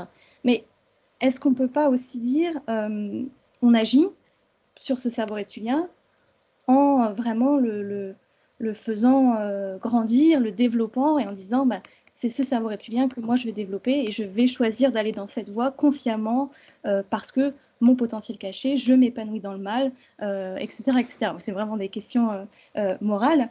et donc je me demandais si, alors j'imagine que vous n'avez pas eu de témoignage direct de gens qui disaient, qui se levaient pendant les conférences et qui disaient, ben voilà, moi je voudrais me développer dans le mal et, apprivoiser mon, cerveau reptilien, voilà. mais je me demandais si quand même vous aviez eu des, vous aviez lu ou entendu des remarques qui disaient mais qu'est-ce qu'on fait en fait de ces individus qui, qui sont dans le mal et hmm. est-ce qu'on peut simplement dire qu'ils se trompent ou qu'ils subissent leur cerveau reptilien quand on, en tout cas la représentation qu'on a, l'espèce de fantasme, la fascination qu'on a pour ces grands tueurs en série, euh, avec Alain Ehrenberg, j'avais cité notamment la figure du Joker dans l'univers Batman, qui est hmm. vraiment dans le mal. Est-ce que cette fascination, elle, est, elle montre pas quelque chose d'autre euh, de, juste une tromperie voilà, dans le cerveau ou, euh, mhm, mhm. Merci. Alors, euh, alors pour, répondre, répondre à votre, première, question, j'ai n'ai pas entendu de personne dire je veux développer mon cerveau reptilien. J'ai en revanche, j'ai entendu et j'ai lu euh, des gens qui disaient qu'est-ce qu'on peut faire pour euh, contrer euh, les. Par exemple, Kessler, il était très radical là-dessus, il était pour une opération. Il était pour une opération, l'ablation, enfin voilà, il, a proposé ça à MacLean, qui d'ailleurs avait assez mal pris la chose, il trouvait ça un petit peu extrême. Parce qu'en fait, lui, comme, euh, lui, comme, euh, comme Kessler, euh, voyait un peu dans le cerveau reptilien l'équivalent de la, volonté de puissance nietzschéenne, et donc quelque chose qui était, alors effectivement, que certains pouvaient développer, mais qui, si, chacun s'y si, si, a donné, ça pouvait être une vraie, une vraie menace pour, pour l'édifice social. moi, moi, je trouve que derrière cette focalisation sur le cerveau reptilien, il y a une question morale, en fait. il y a une question morale de fond que, que, je vois réapparaître d'ailleurs ces jours-ci. Euh, avec le retour de l'expression, mais qui désigne autre chose, qui désigne par exemple le striatum. Euh, il y a eu, euh, d'ailleurs, c'est la raison pour laquelle tout, à l'heure je parlais avant qu'on prenne l'antenne de, l'invitation que j'avais eue à, France Inter pour discuter avec justement quelqu'un qui est un adepte de cette théorie-là. en France, alors je, pense que ça doit venir d'un peu plus loin, mais en France, ça vient notamment du journaliste Sébastien Beller qui a écrit un bouquin il y a deux ans, je crois ça s'appelle Le bug humain qui euh, rapporte tous les problèmes de la société contemporaine au striatum en disant, euh, en gros, c'est les pulsions, euh, la société actuelle sollicite plus que de raison ce striatum vers la compulsion, euh, le sexe, euh, les addictions diverses et variées, etc. et euh, dans maintenant la, littérature qui, qui, qui, Didier Pleu dont je parlais, a, sorti un livre là, ces jours-ci qui s'appelle Comment échapper à la dictature du cerveau reptilien. Donc vous voyez encore l'idée d'échapper à une dictature de quelque chose qui est désigné comme cerveau reptilien, même si lui il emploie maintenant des guillemets et en fait son cerveau reptilien renvoie ce striatum dont je parle. Mais vous voyez que toujours derrière il y a cette idée un peu, il y a une vision aussi morale de se dire la société développe en nous euh, des pulsions, des instincts qui sont euh, antisociaux, euh, égoïstes, etc. Donc, tenir un discours en disant je veux développer mon cerveau reptilien, il faut vraiment être. Voilà, C'est un vrai projet, mais j'en ai pas entendu parler. Et, ce que j'entends le plus, en fait, que ce soit à propos du striatum, du striatum que du cerveau reptilien ancienne manière, c'est toujours la même chose, il faut développer l'éducation. Voilà, moi j'entends toujours ça. je l'ai vu dans, les, dans la presse du début des années 80, notamment dans, les, dans, quand le film d'Alain René est sorti, euh, qui fait, euh, la, mise en image de la théorie de MacLean relue par Laborie, euh, c'est encore de nos jours ce qui se passe quand on lit des gens comme M. Pleu ou Sébastien Boller, c'est l'éducation, l'éducation, l'éducation, et donc en fait des idées quand même assez aussi un peu, comment dire, je vais dire banal, mais enfin voilà, voilà, il faut éduquer les gens, euh, voilà, mais euh, bon, avec euh, cette idée derrière qu'ils ils sont agis par un, par un composant qui est fondamentalement antimoral, quoi, antisocial, antimoral. Donc, je ne sais pas si je réponds à votre question. L'idée derrière que voilà, on est, les, les, pulsions sont mauvaises, et qu'il y a une zone particulière qui les anime et euh, on peut pas laisser, euh, on peut pas les laisser s'exprimer comme ça. Alors après, la question des serial killers ou des ou des euh, ou du Joker, je, ne les ai pas rencontrés en fait trop. En revanche, j'ai j'ai un peu échangé avec le créateur, j'en parle dans le livre, le créateur d'une série très connue dans les années 80 qui s'appelait V où, euh, alors c'est pas le Joker, mais c'est des extraterrestres euh, reptiliens qui colonisent la Terre, etc. Et euh, lui m'a raconté, enfin on a échangé par mail et il m'expliquait que en fait, lui, ce qu'il avait un peu gêné, c'est que les gens en fait se réclamaient de lui pour la théorie des reptiliens, la fameuse théorie des reptiliens. Vous voyez, donc en fait, c'est plutôt ce genre de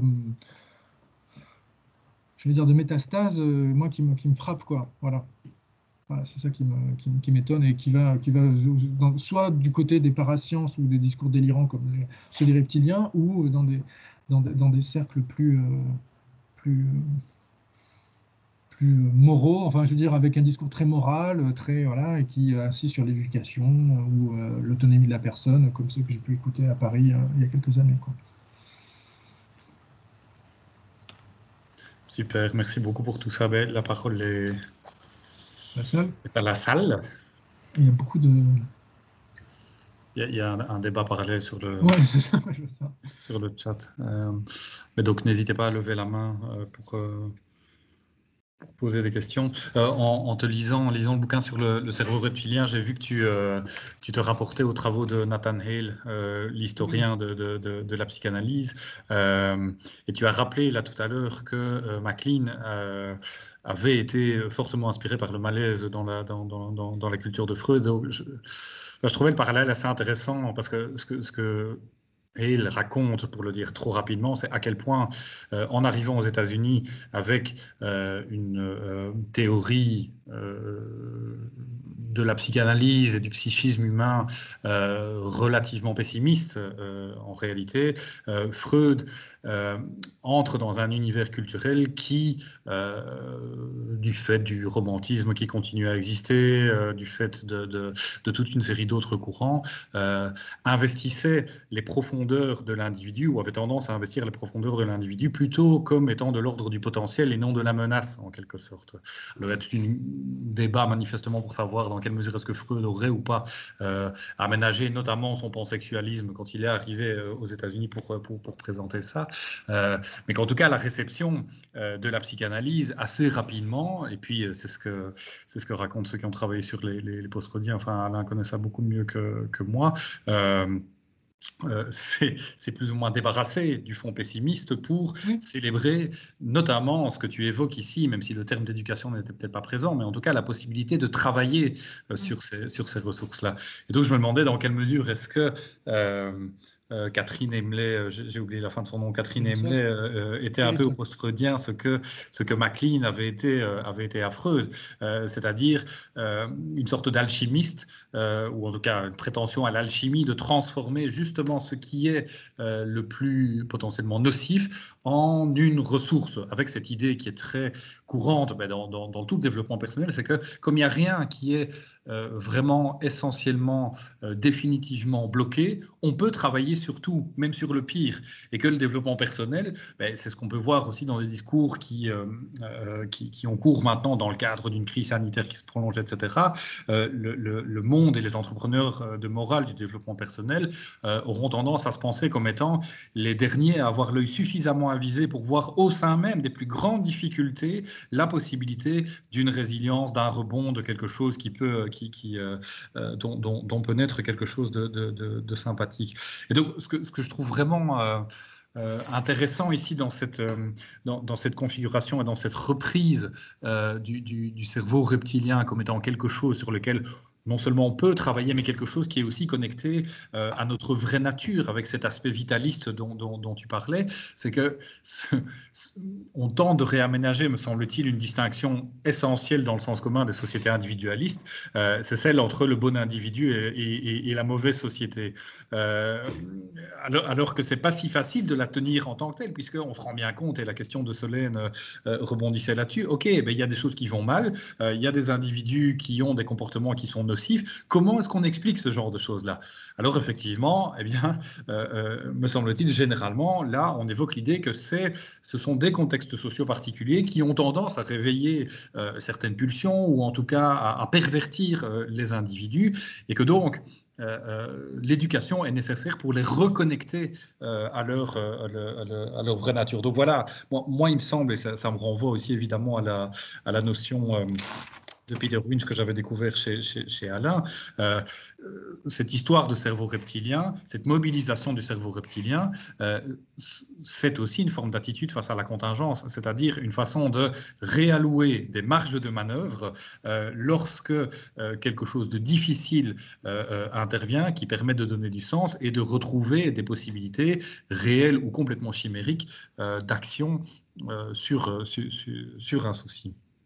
Voilà, ce n'était pas vraiment une question, plutôt un commentaire. Non, non, je suis d'accord avec toi. Sur, sur, sur, le, sur, sur, le, sur Freud, oui, en fait, ce que tu, ce que tu développes, et Nathan Hale, etc., c'est ce que j'ai rapidement évoqué euh, à un moment donné de ma présentation euh, sur le fait que, voilà, c'est comment dire, euh, la version américanisée et délestée d'un certain nombre de dimensions qui sont un peu gênantes, euh, notamment par rapport à la sexualité. Enfin, tout, ce que tu as, tout ce que tu as dit là, c'est absolument ça. Et on peut considérer, alors bon, euh, avec beaucoup de guillemets, Catherine Aimée Périssol comme une adaptatrice un peu, voilà, le, fait qu'elle se, elle se réclame de la psychologie positive et me semble aller, me semble être cohérent avec ça. cette question du, du mal, de la violence, de l'agressivité euh, et euh, les, réponses euh, qu'on peut apporter de ce point de vue-là avec un discours rationnel qui pourrait ensuite déboucher sur des, sur des sur des, sur des solutions. Euh, c'est euh, quelque chose qui m'a frappé. Il y a un petit passage dans le livre où je parle de, tous ces discours sur le, la violence innée de l'espèce humaine qui fait rage dans les années 60-70 aux États-Unis autour des conceptions de Conrad Lorenz, de la théorie du singe tueur, de ça c'est comment elle s'appelle, Milam, l'historienne qui a fait un, bouquin là-dessus, Les enfants de euh, de Cain qui est sorti il y a un ou deux ans. Euh, et en fait, McLean, il était un peu dans ce, dans ce contexte-là, quoi. C'est-à-dire en plus dans un contexte politique aux États-Unis qui est quand même assez assez compliqué à cette époque-là déjà. Euh, et euh, il y a eu une prolifération de, théories, soit inspirées de l'éthologie, soit inspirées de la génétique, sur, euh, sur la violence innée et puis le, danger qu'il y avait pour la, pour la société américaine et comment s'en sortir, avec, avec des réponses qui étaient parfois assez radicales hein, d'ailleurs. il me semble que ça, fait... ça MacLean a, écrit euh, différents euh, documents euh, scientifiques pour réclamer des subventions, etc., en disant que le résultat de ces, recherches pourrait aider à résoudre certains problèmes, et notamment les problèmes familiaux ou l'homosexualité qui voyait comme une pathologie sociale. voilà. Donc il y, a quelque chose qui a, lié, qui a un lien aussi avec le contexte politique plus général, à mon sens, et qui fait écho de nos jours. Il me semble que, j'en parle un tout petit peu en, conclusion, parce qu'évidemment, quand j'ai bouclé le livre, on était en plein dedans, mais euh, il y avait des, des, articles dans la presse, euh, notamment une personne, qui, un, un, psychologue, qui, qui disait que maintenant, il fallait, euh, non seulement il fallait en prendre compte du cerveau, mais en plus, il fallait l'écouter. Donc là, on est dans un retournement complet par rapport à la théorie d'origine, et qui effectivement est à la recherche mais, en fait, à l'arrivée, ça retombe toujours sur quand même des considérations qui sont assez banales et ordinaires. De, il faut éduquer les gens. Alors, on ne sait pas exactement à quoi, mais en tout cas, il faut les éduquer. Il faut, euh, parce que bon, les, autres considérations à la Kessler de, lobotomiser euh, euh, toute l'espèce, c'est difficile pour l'instant à mettre des camisoles de force chimiques. on n'y est pas encore complètement. Mais oui, oui, c'est un, une façon de, tenter de redonner du sens. C'est pour ça que j'employais le terme de consolation à la fin. Euh, qui, euh, qui, me semble, qui me semble expliquer que ça n'est pas disparu et que justement ce terme-là, euh, même si derrière il a une signification qui est très très variable selon les milieux et même encore selon les époques, puisque maintenant en fait il renvoie aussi à d'autres réalités, enfin d'autres réalités, d'autres zones cérébrales qui n'étaient pas celles dont parlait McLean au départ, en fait ça veut dire vraiment qu'il remplit une fonction. Et là je vois, je vois passer rapidement dans le chat des références à Durkheim ou aux formes, élémentaires de la vie religieuse. J'ai vu ça en, diagonale, mais il y aurait vraiment, un, il y aurait vraiment une, réflexion à mener là-dessus. Super, merci. Merci beaucoup. Christophe euh, oui, merci. Euh, ben justement, je trouve ça euh, intéressant cette question de quelle fonction remplit cette, cette ce, cerveau reptilien. Et au départ, en écoutant, merci beaucoup pour l'intervention, je trouvais ça très intéressant, mais je ne pensais pas spécialement à mes domaines de prédilection qui sont plutôt la criminologie. Mais comme là, on, est arrivé à la question du mal, des délinquants sexuels, etc., euh, euh, du striatum, ce qui me frappe, c'est qu'en fait, c'est une question éternelle. C'est-à-dire que au moins depuis euh, la fin du 19e siècle, on cherche dans le corps la trace du mal, peut-être comme on, le faisait auparavant d'une manière plus religieuse, mais euh, par exemple, la criminologie se, doit énormément au départ à Lombroso et à, sa, à son idée du criminel né. Euh, à la fin du 19e et au début du 20e, on développe la phrénologie, des, des unités d'anthropométrie pour essayer de lire dans le corps des délinquants euh, la trace du mal euh, sans savoir exactement quelle serait la potentielle causalité, hein, mais, mais, mais, on a des typologies sur le front fuyant qui montrent une, une faible, un faible développement d'une zone du cerveau qui serait attribuée à la, à, la sensibilité pour la douleur d'autrui, etc. Et donc finalement, euh, c'est quelque part une thématique qui revient de manière constante. Et par exemple, aujourd'hui, en criminologie, on voit euh, euh, comment dire, émerger toute une série de considérations sur la possibilité, via la neuroimagerie, de détecter dans le cerveau, alors cette fois-ci, des dysfonctionnements, des structures problématiques, etc., qui seraient le signe de la propension à la délinquance. Et, quelque part, face à ça, euh, l'approche pénale depuis au moins un siècle hésite en permanence entre soit le déterminisme avec des stratégies d'incapacitation, puisque euh, certains êtres humains sont mauvais et, mauvais pour des raisons euh, endogènes, eh bien, il faut simplement les mettre hors circuit, ou les lobotomiser, hein, on l'a fait et euh, à l'inverse, la possibilité de considérer que euh, le, problème est plutôt une maladie ou un défaut d'éducation. Et on en est toujours là aujourd'hui dans le débat, c'est-à-dire que, euh, par exemple, autour de la prison, on ne sait toujours pas quoi en faire. Est-ce que la prison sert à parquer des individus pour s'en débarrasser? Est-ce qu'elle sert à les resocialiser? Euh, euh, Voilà, donc je, trouvais ça assez intéressant parce que quelque part, on, voit bien qu'on est dans, quelque chose qui est assez classique. Et alors, une autre remarque, c'est la relativité du mal. Alors, on prend le délinquant sexuel ou le grand pervers comme comme l'archétype du mal, mais, mais on, à côté de ça, euh, des dizaines de milliers de délinquants ne sont pas des archétypes du mal. Et ce qui est assez intéressant, c'est de voir que beaucoup de ces délinquants développent dans leur activité de délinquance des, des, des, des qualités qui sont les qualités, par exemple, d'un bon entrepreneur, euh, euh, de quelqu'un qui est fidèle à sa communauté, qui a une capacité à respecter la parole donnée, enfin, etc. Donc, il y a un respect de l'autre. Et toute cette ambiguïté autour de qu'est-ce qu'on doit faire euh, de, de, de, ce qui pourrait être à la fois le siège du mal, mais peut-être aussi le siège du bien, euh, euh, c'est aussi une question qui est tout à fait classique en, criminologie. Et donc, je trouve ça passionnant de voir qu'il y a là un, recouvrement. Voilà. C'était juste plutôt des remarques que des questions, hein, désolé. Je ne sais pas, Sébastien. non, j'ai été coupé à la fin, j'ai été éjecté, je ne sais pas pourquoi. C'est un des mystères de Teams. Ah oui, tu, tu, es gelé sur l'écran d'ailleurs. je, je, suis gelé? Mais, mais, mais, on a ta voix. tu n'es pas gelé dans une position qui est trop compromettante. Tout va bien. Ça va Non, euh, je... Je, moi, je suis, frappé, je suis frappé par, la, par la, la, la, coexistence en fait de la version amicale euh, du cerveau reptilien, puis de sa résurgence euh, dans sa version apocalyptique. Hein. C'est ça qui me frappe, moi, surtout. C'est d'un côté, côté striatum, pulsion et menace de la civilisation, donc qu'on a évoqué tout à l'heure avec Solène et qui se raccroche un peu à ce qui vient d'être dit. Et puis de l'autre côté, euh, Catherine Méperissa, c'est pas ça quand même. Hein. Euh, donc, euh, on retombe sur l'adaptabilité du, discours. alors après, est-ce que c'est lié au fait qu'il soit vrai ou faux je, ne sais pas, mais en tout cas, les extraordinaires possibilités qu'il, offre de, d'appropriation qui sont quand même assez contradictoires, il me semble. Merci. Joran, tu avais une question euh, ben merci beaucoup, c'était vraiment passionnant.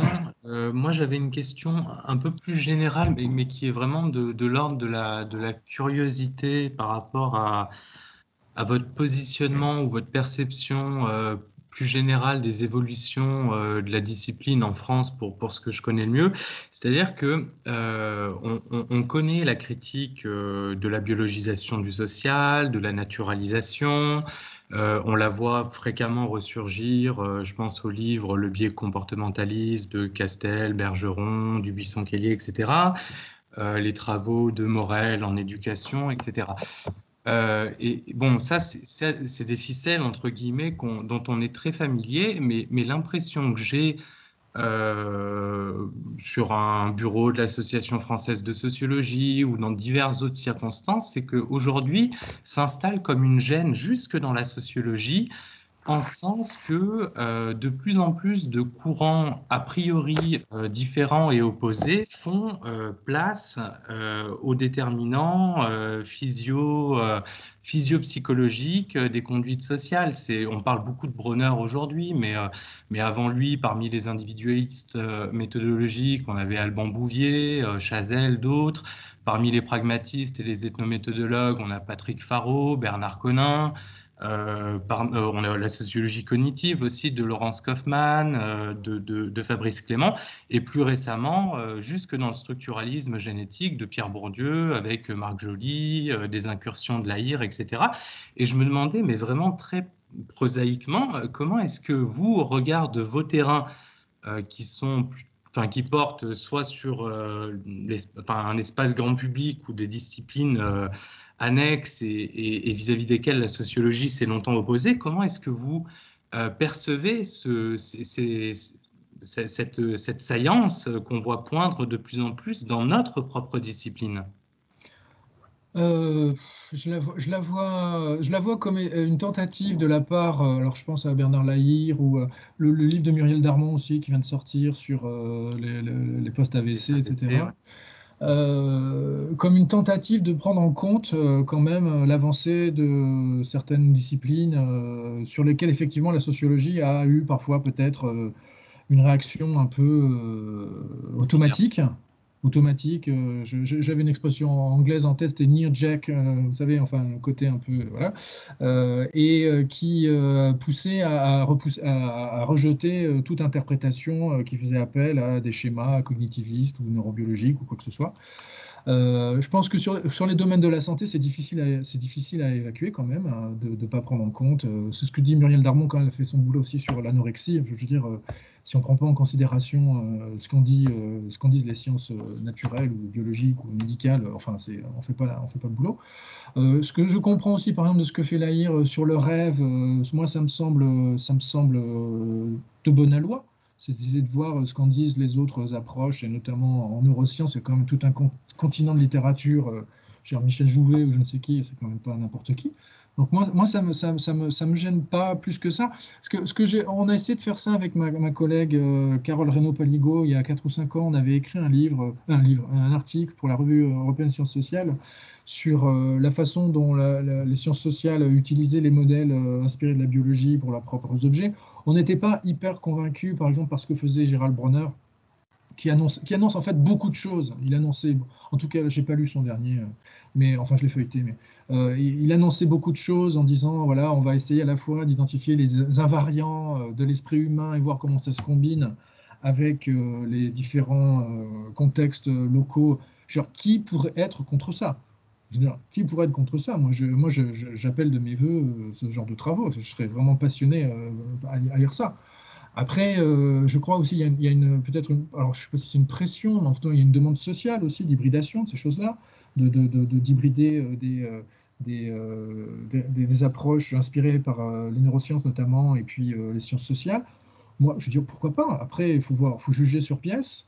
Le, enfin, je dis ça, l'espèce de, pression, je, je, l'ai senti plutôt dans le monde éditorial d'ailleurs. il y avait une demande de la part de certains éditeurs, notamment pour faire publier mon premier livre. J'ai parfois eu des, des, convenus parce qu'en fait, les éditeurs attendaient plutôt un dialogue entre les neurosciences et la sociologie. Euh, voilà. Donc, euh, bon, euh, personnellement, je ne vois pas grand mal. Moi, j'aurais plutôt tendance à dire, c'est ce qu'on disait dans l'article avec Carole, que il faudrait qu'il y ait plus de sociologues qui soient informés véritablement de ce qui se passe au lieu de plaquer des idées toutes faites en disant voilà, il n'y en a pas énormément que ça qui. qui, qui ah, je vois Est-ce que je dois lire le truc? Oui, mais oui, euh, Bronner est euh, cérébro-centré. Euh, je suis pas certain que, enfin, je suis pas certain que ce soit la, voie, à suivre. Enfin, en tout cas, nous, on n'était pas, on convaincus par ce qu'il proposait, notamment dans l'article qu'il avait fait pour la revue française sociologie il y a, dix ans. Bon, bref. donc, qu'est-ce que j'étais en train de dire? Qui est, voilà, c'est ça. Qu'il y a un niveau d'information que les gens doivent acquérir, qui demande beaucoup de travail. Je pense par exemple au bouquin de Julien Larègue qui est sorti l'année dernière sur euh, justement la, la, biocriminologie qui est hyper informée. Euh, voilà, donc là, ça, c'est un, moi un travail qui, me plaît beaucoup. Euh, et puis inversement, ce serait bien aussi que les neuroscientifiques s'informent de ce qu'on fait, parce que parfois il y a des versions très caricaturales de ce qu'on fait qui circulent parmi eux. Et je pense que toute la discussion, vous avez évoqué le biais comportementaliste, toute la discussion autour des biais cognitifs, ça serait intéressant de rajouter un petit peu de sociologie là-dedans, il me semble. Hein. mais bon, je, je pense, mais là, ce serait une autre discussion.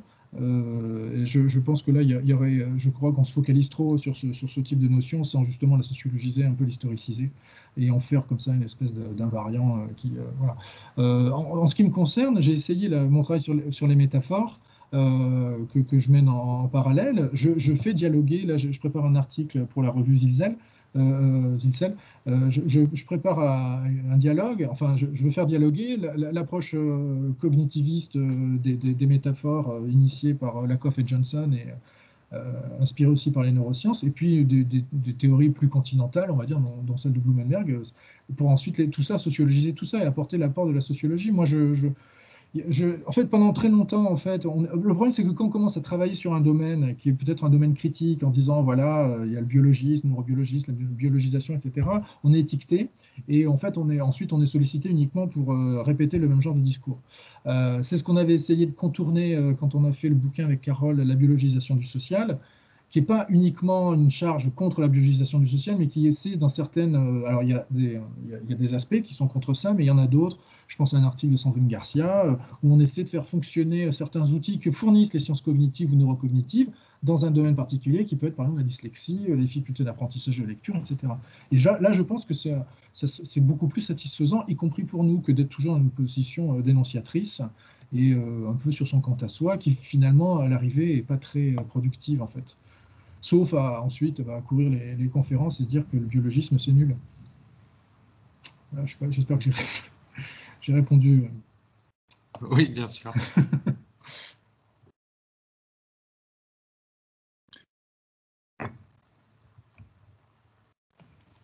Vas-y, Solène. Oui, merci.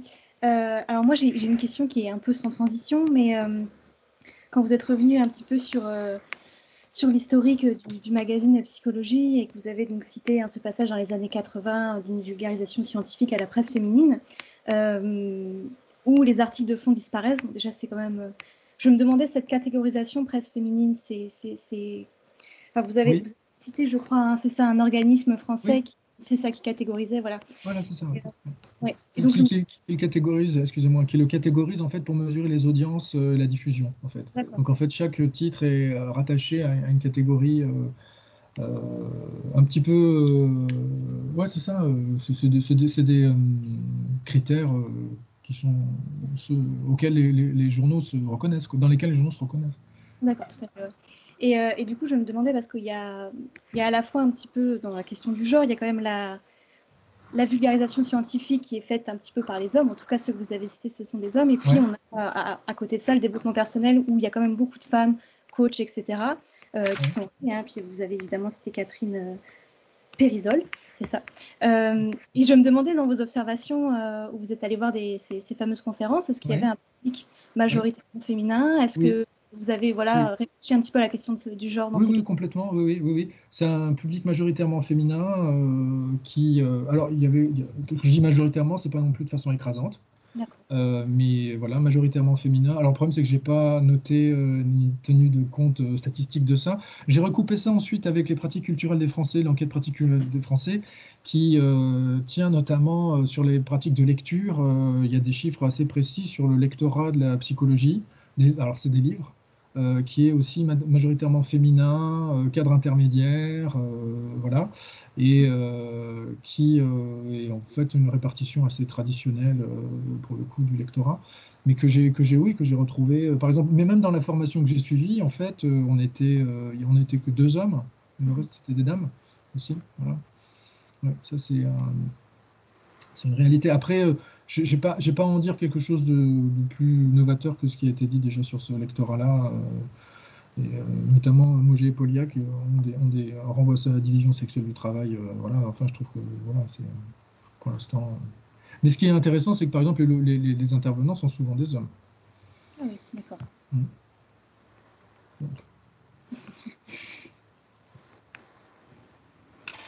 Merci. Est-ce qu'il y a encore éventuellement une dernière question? Il y a une série de gens qui m'avaient prévenu qui euh, ont dû quitter la Réunion, et c'est normal, parce qu'en Belgique, à cette heure-ci, on mange.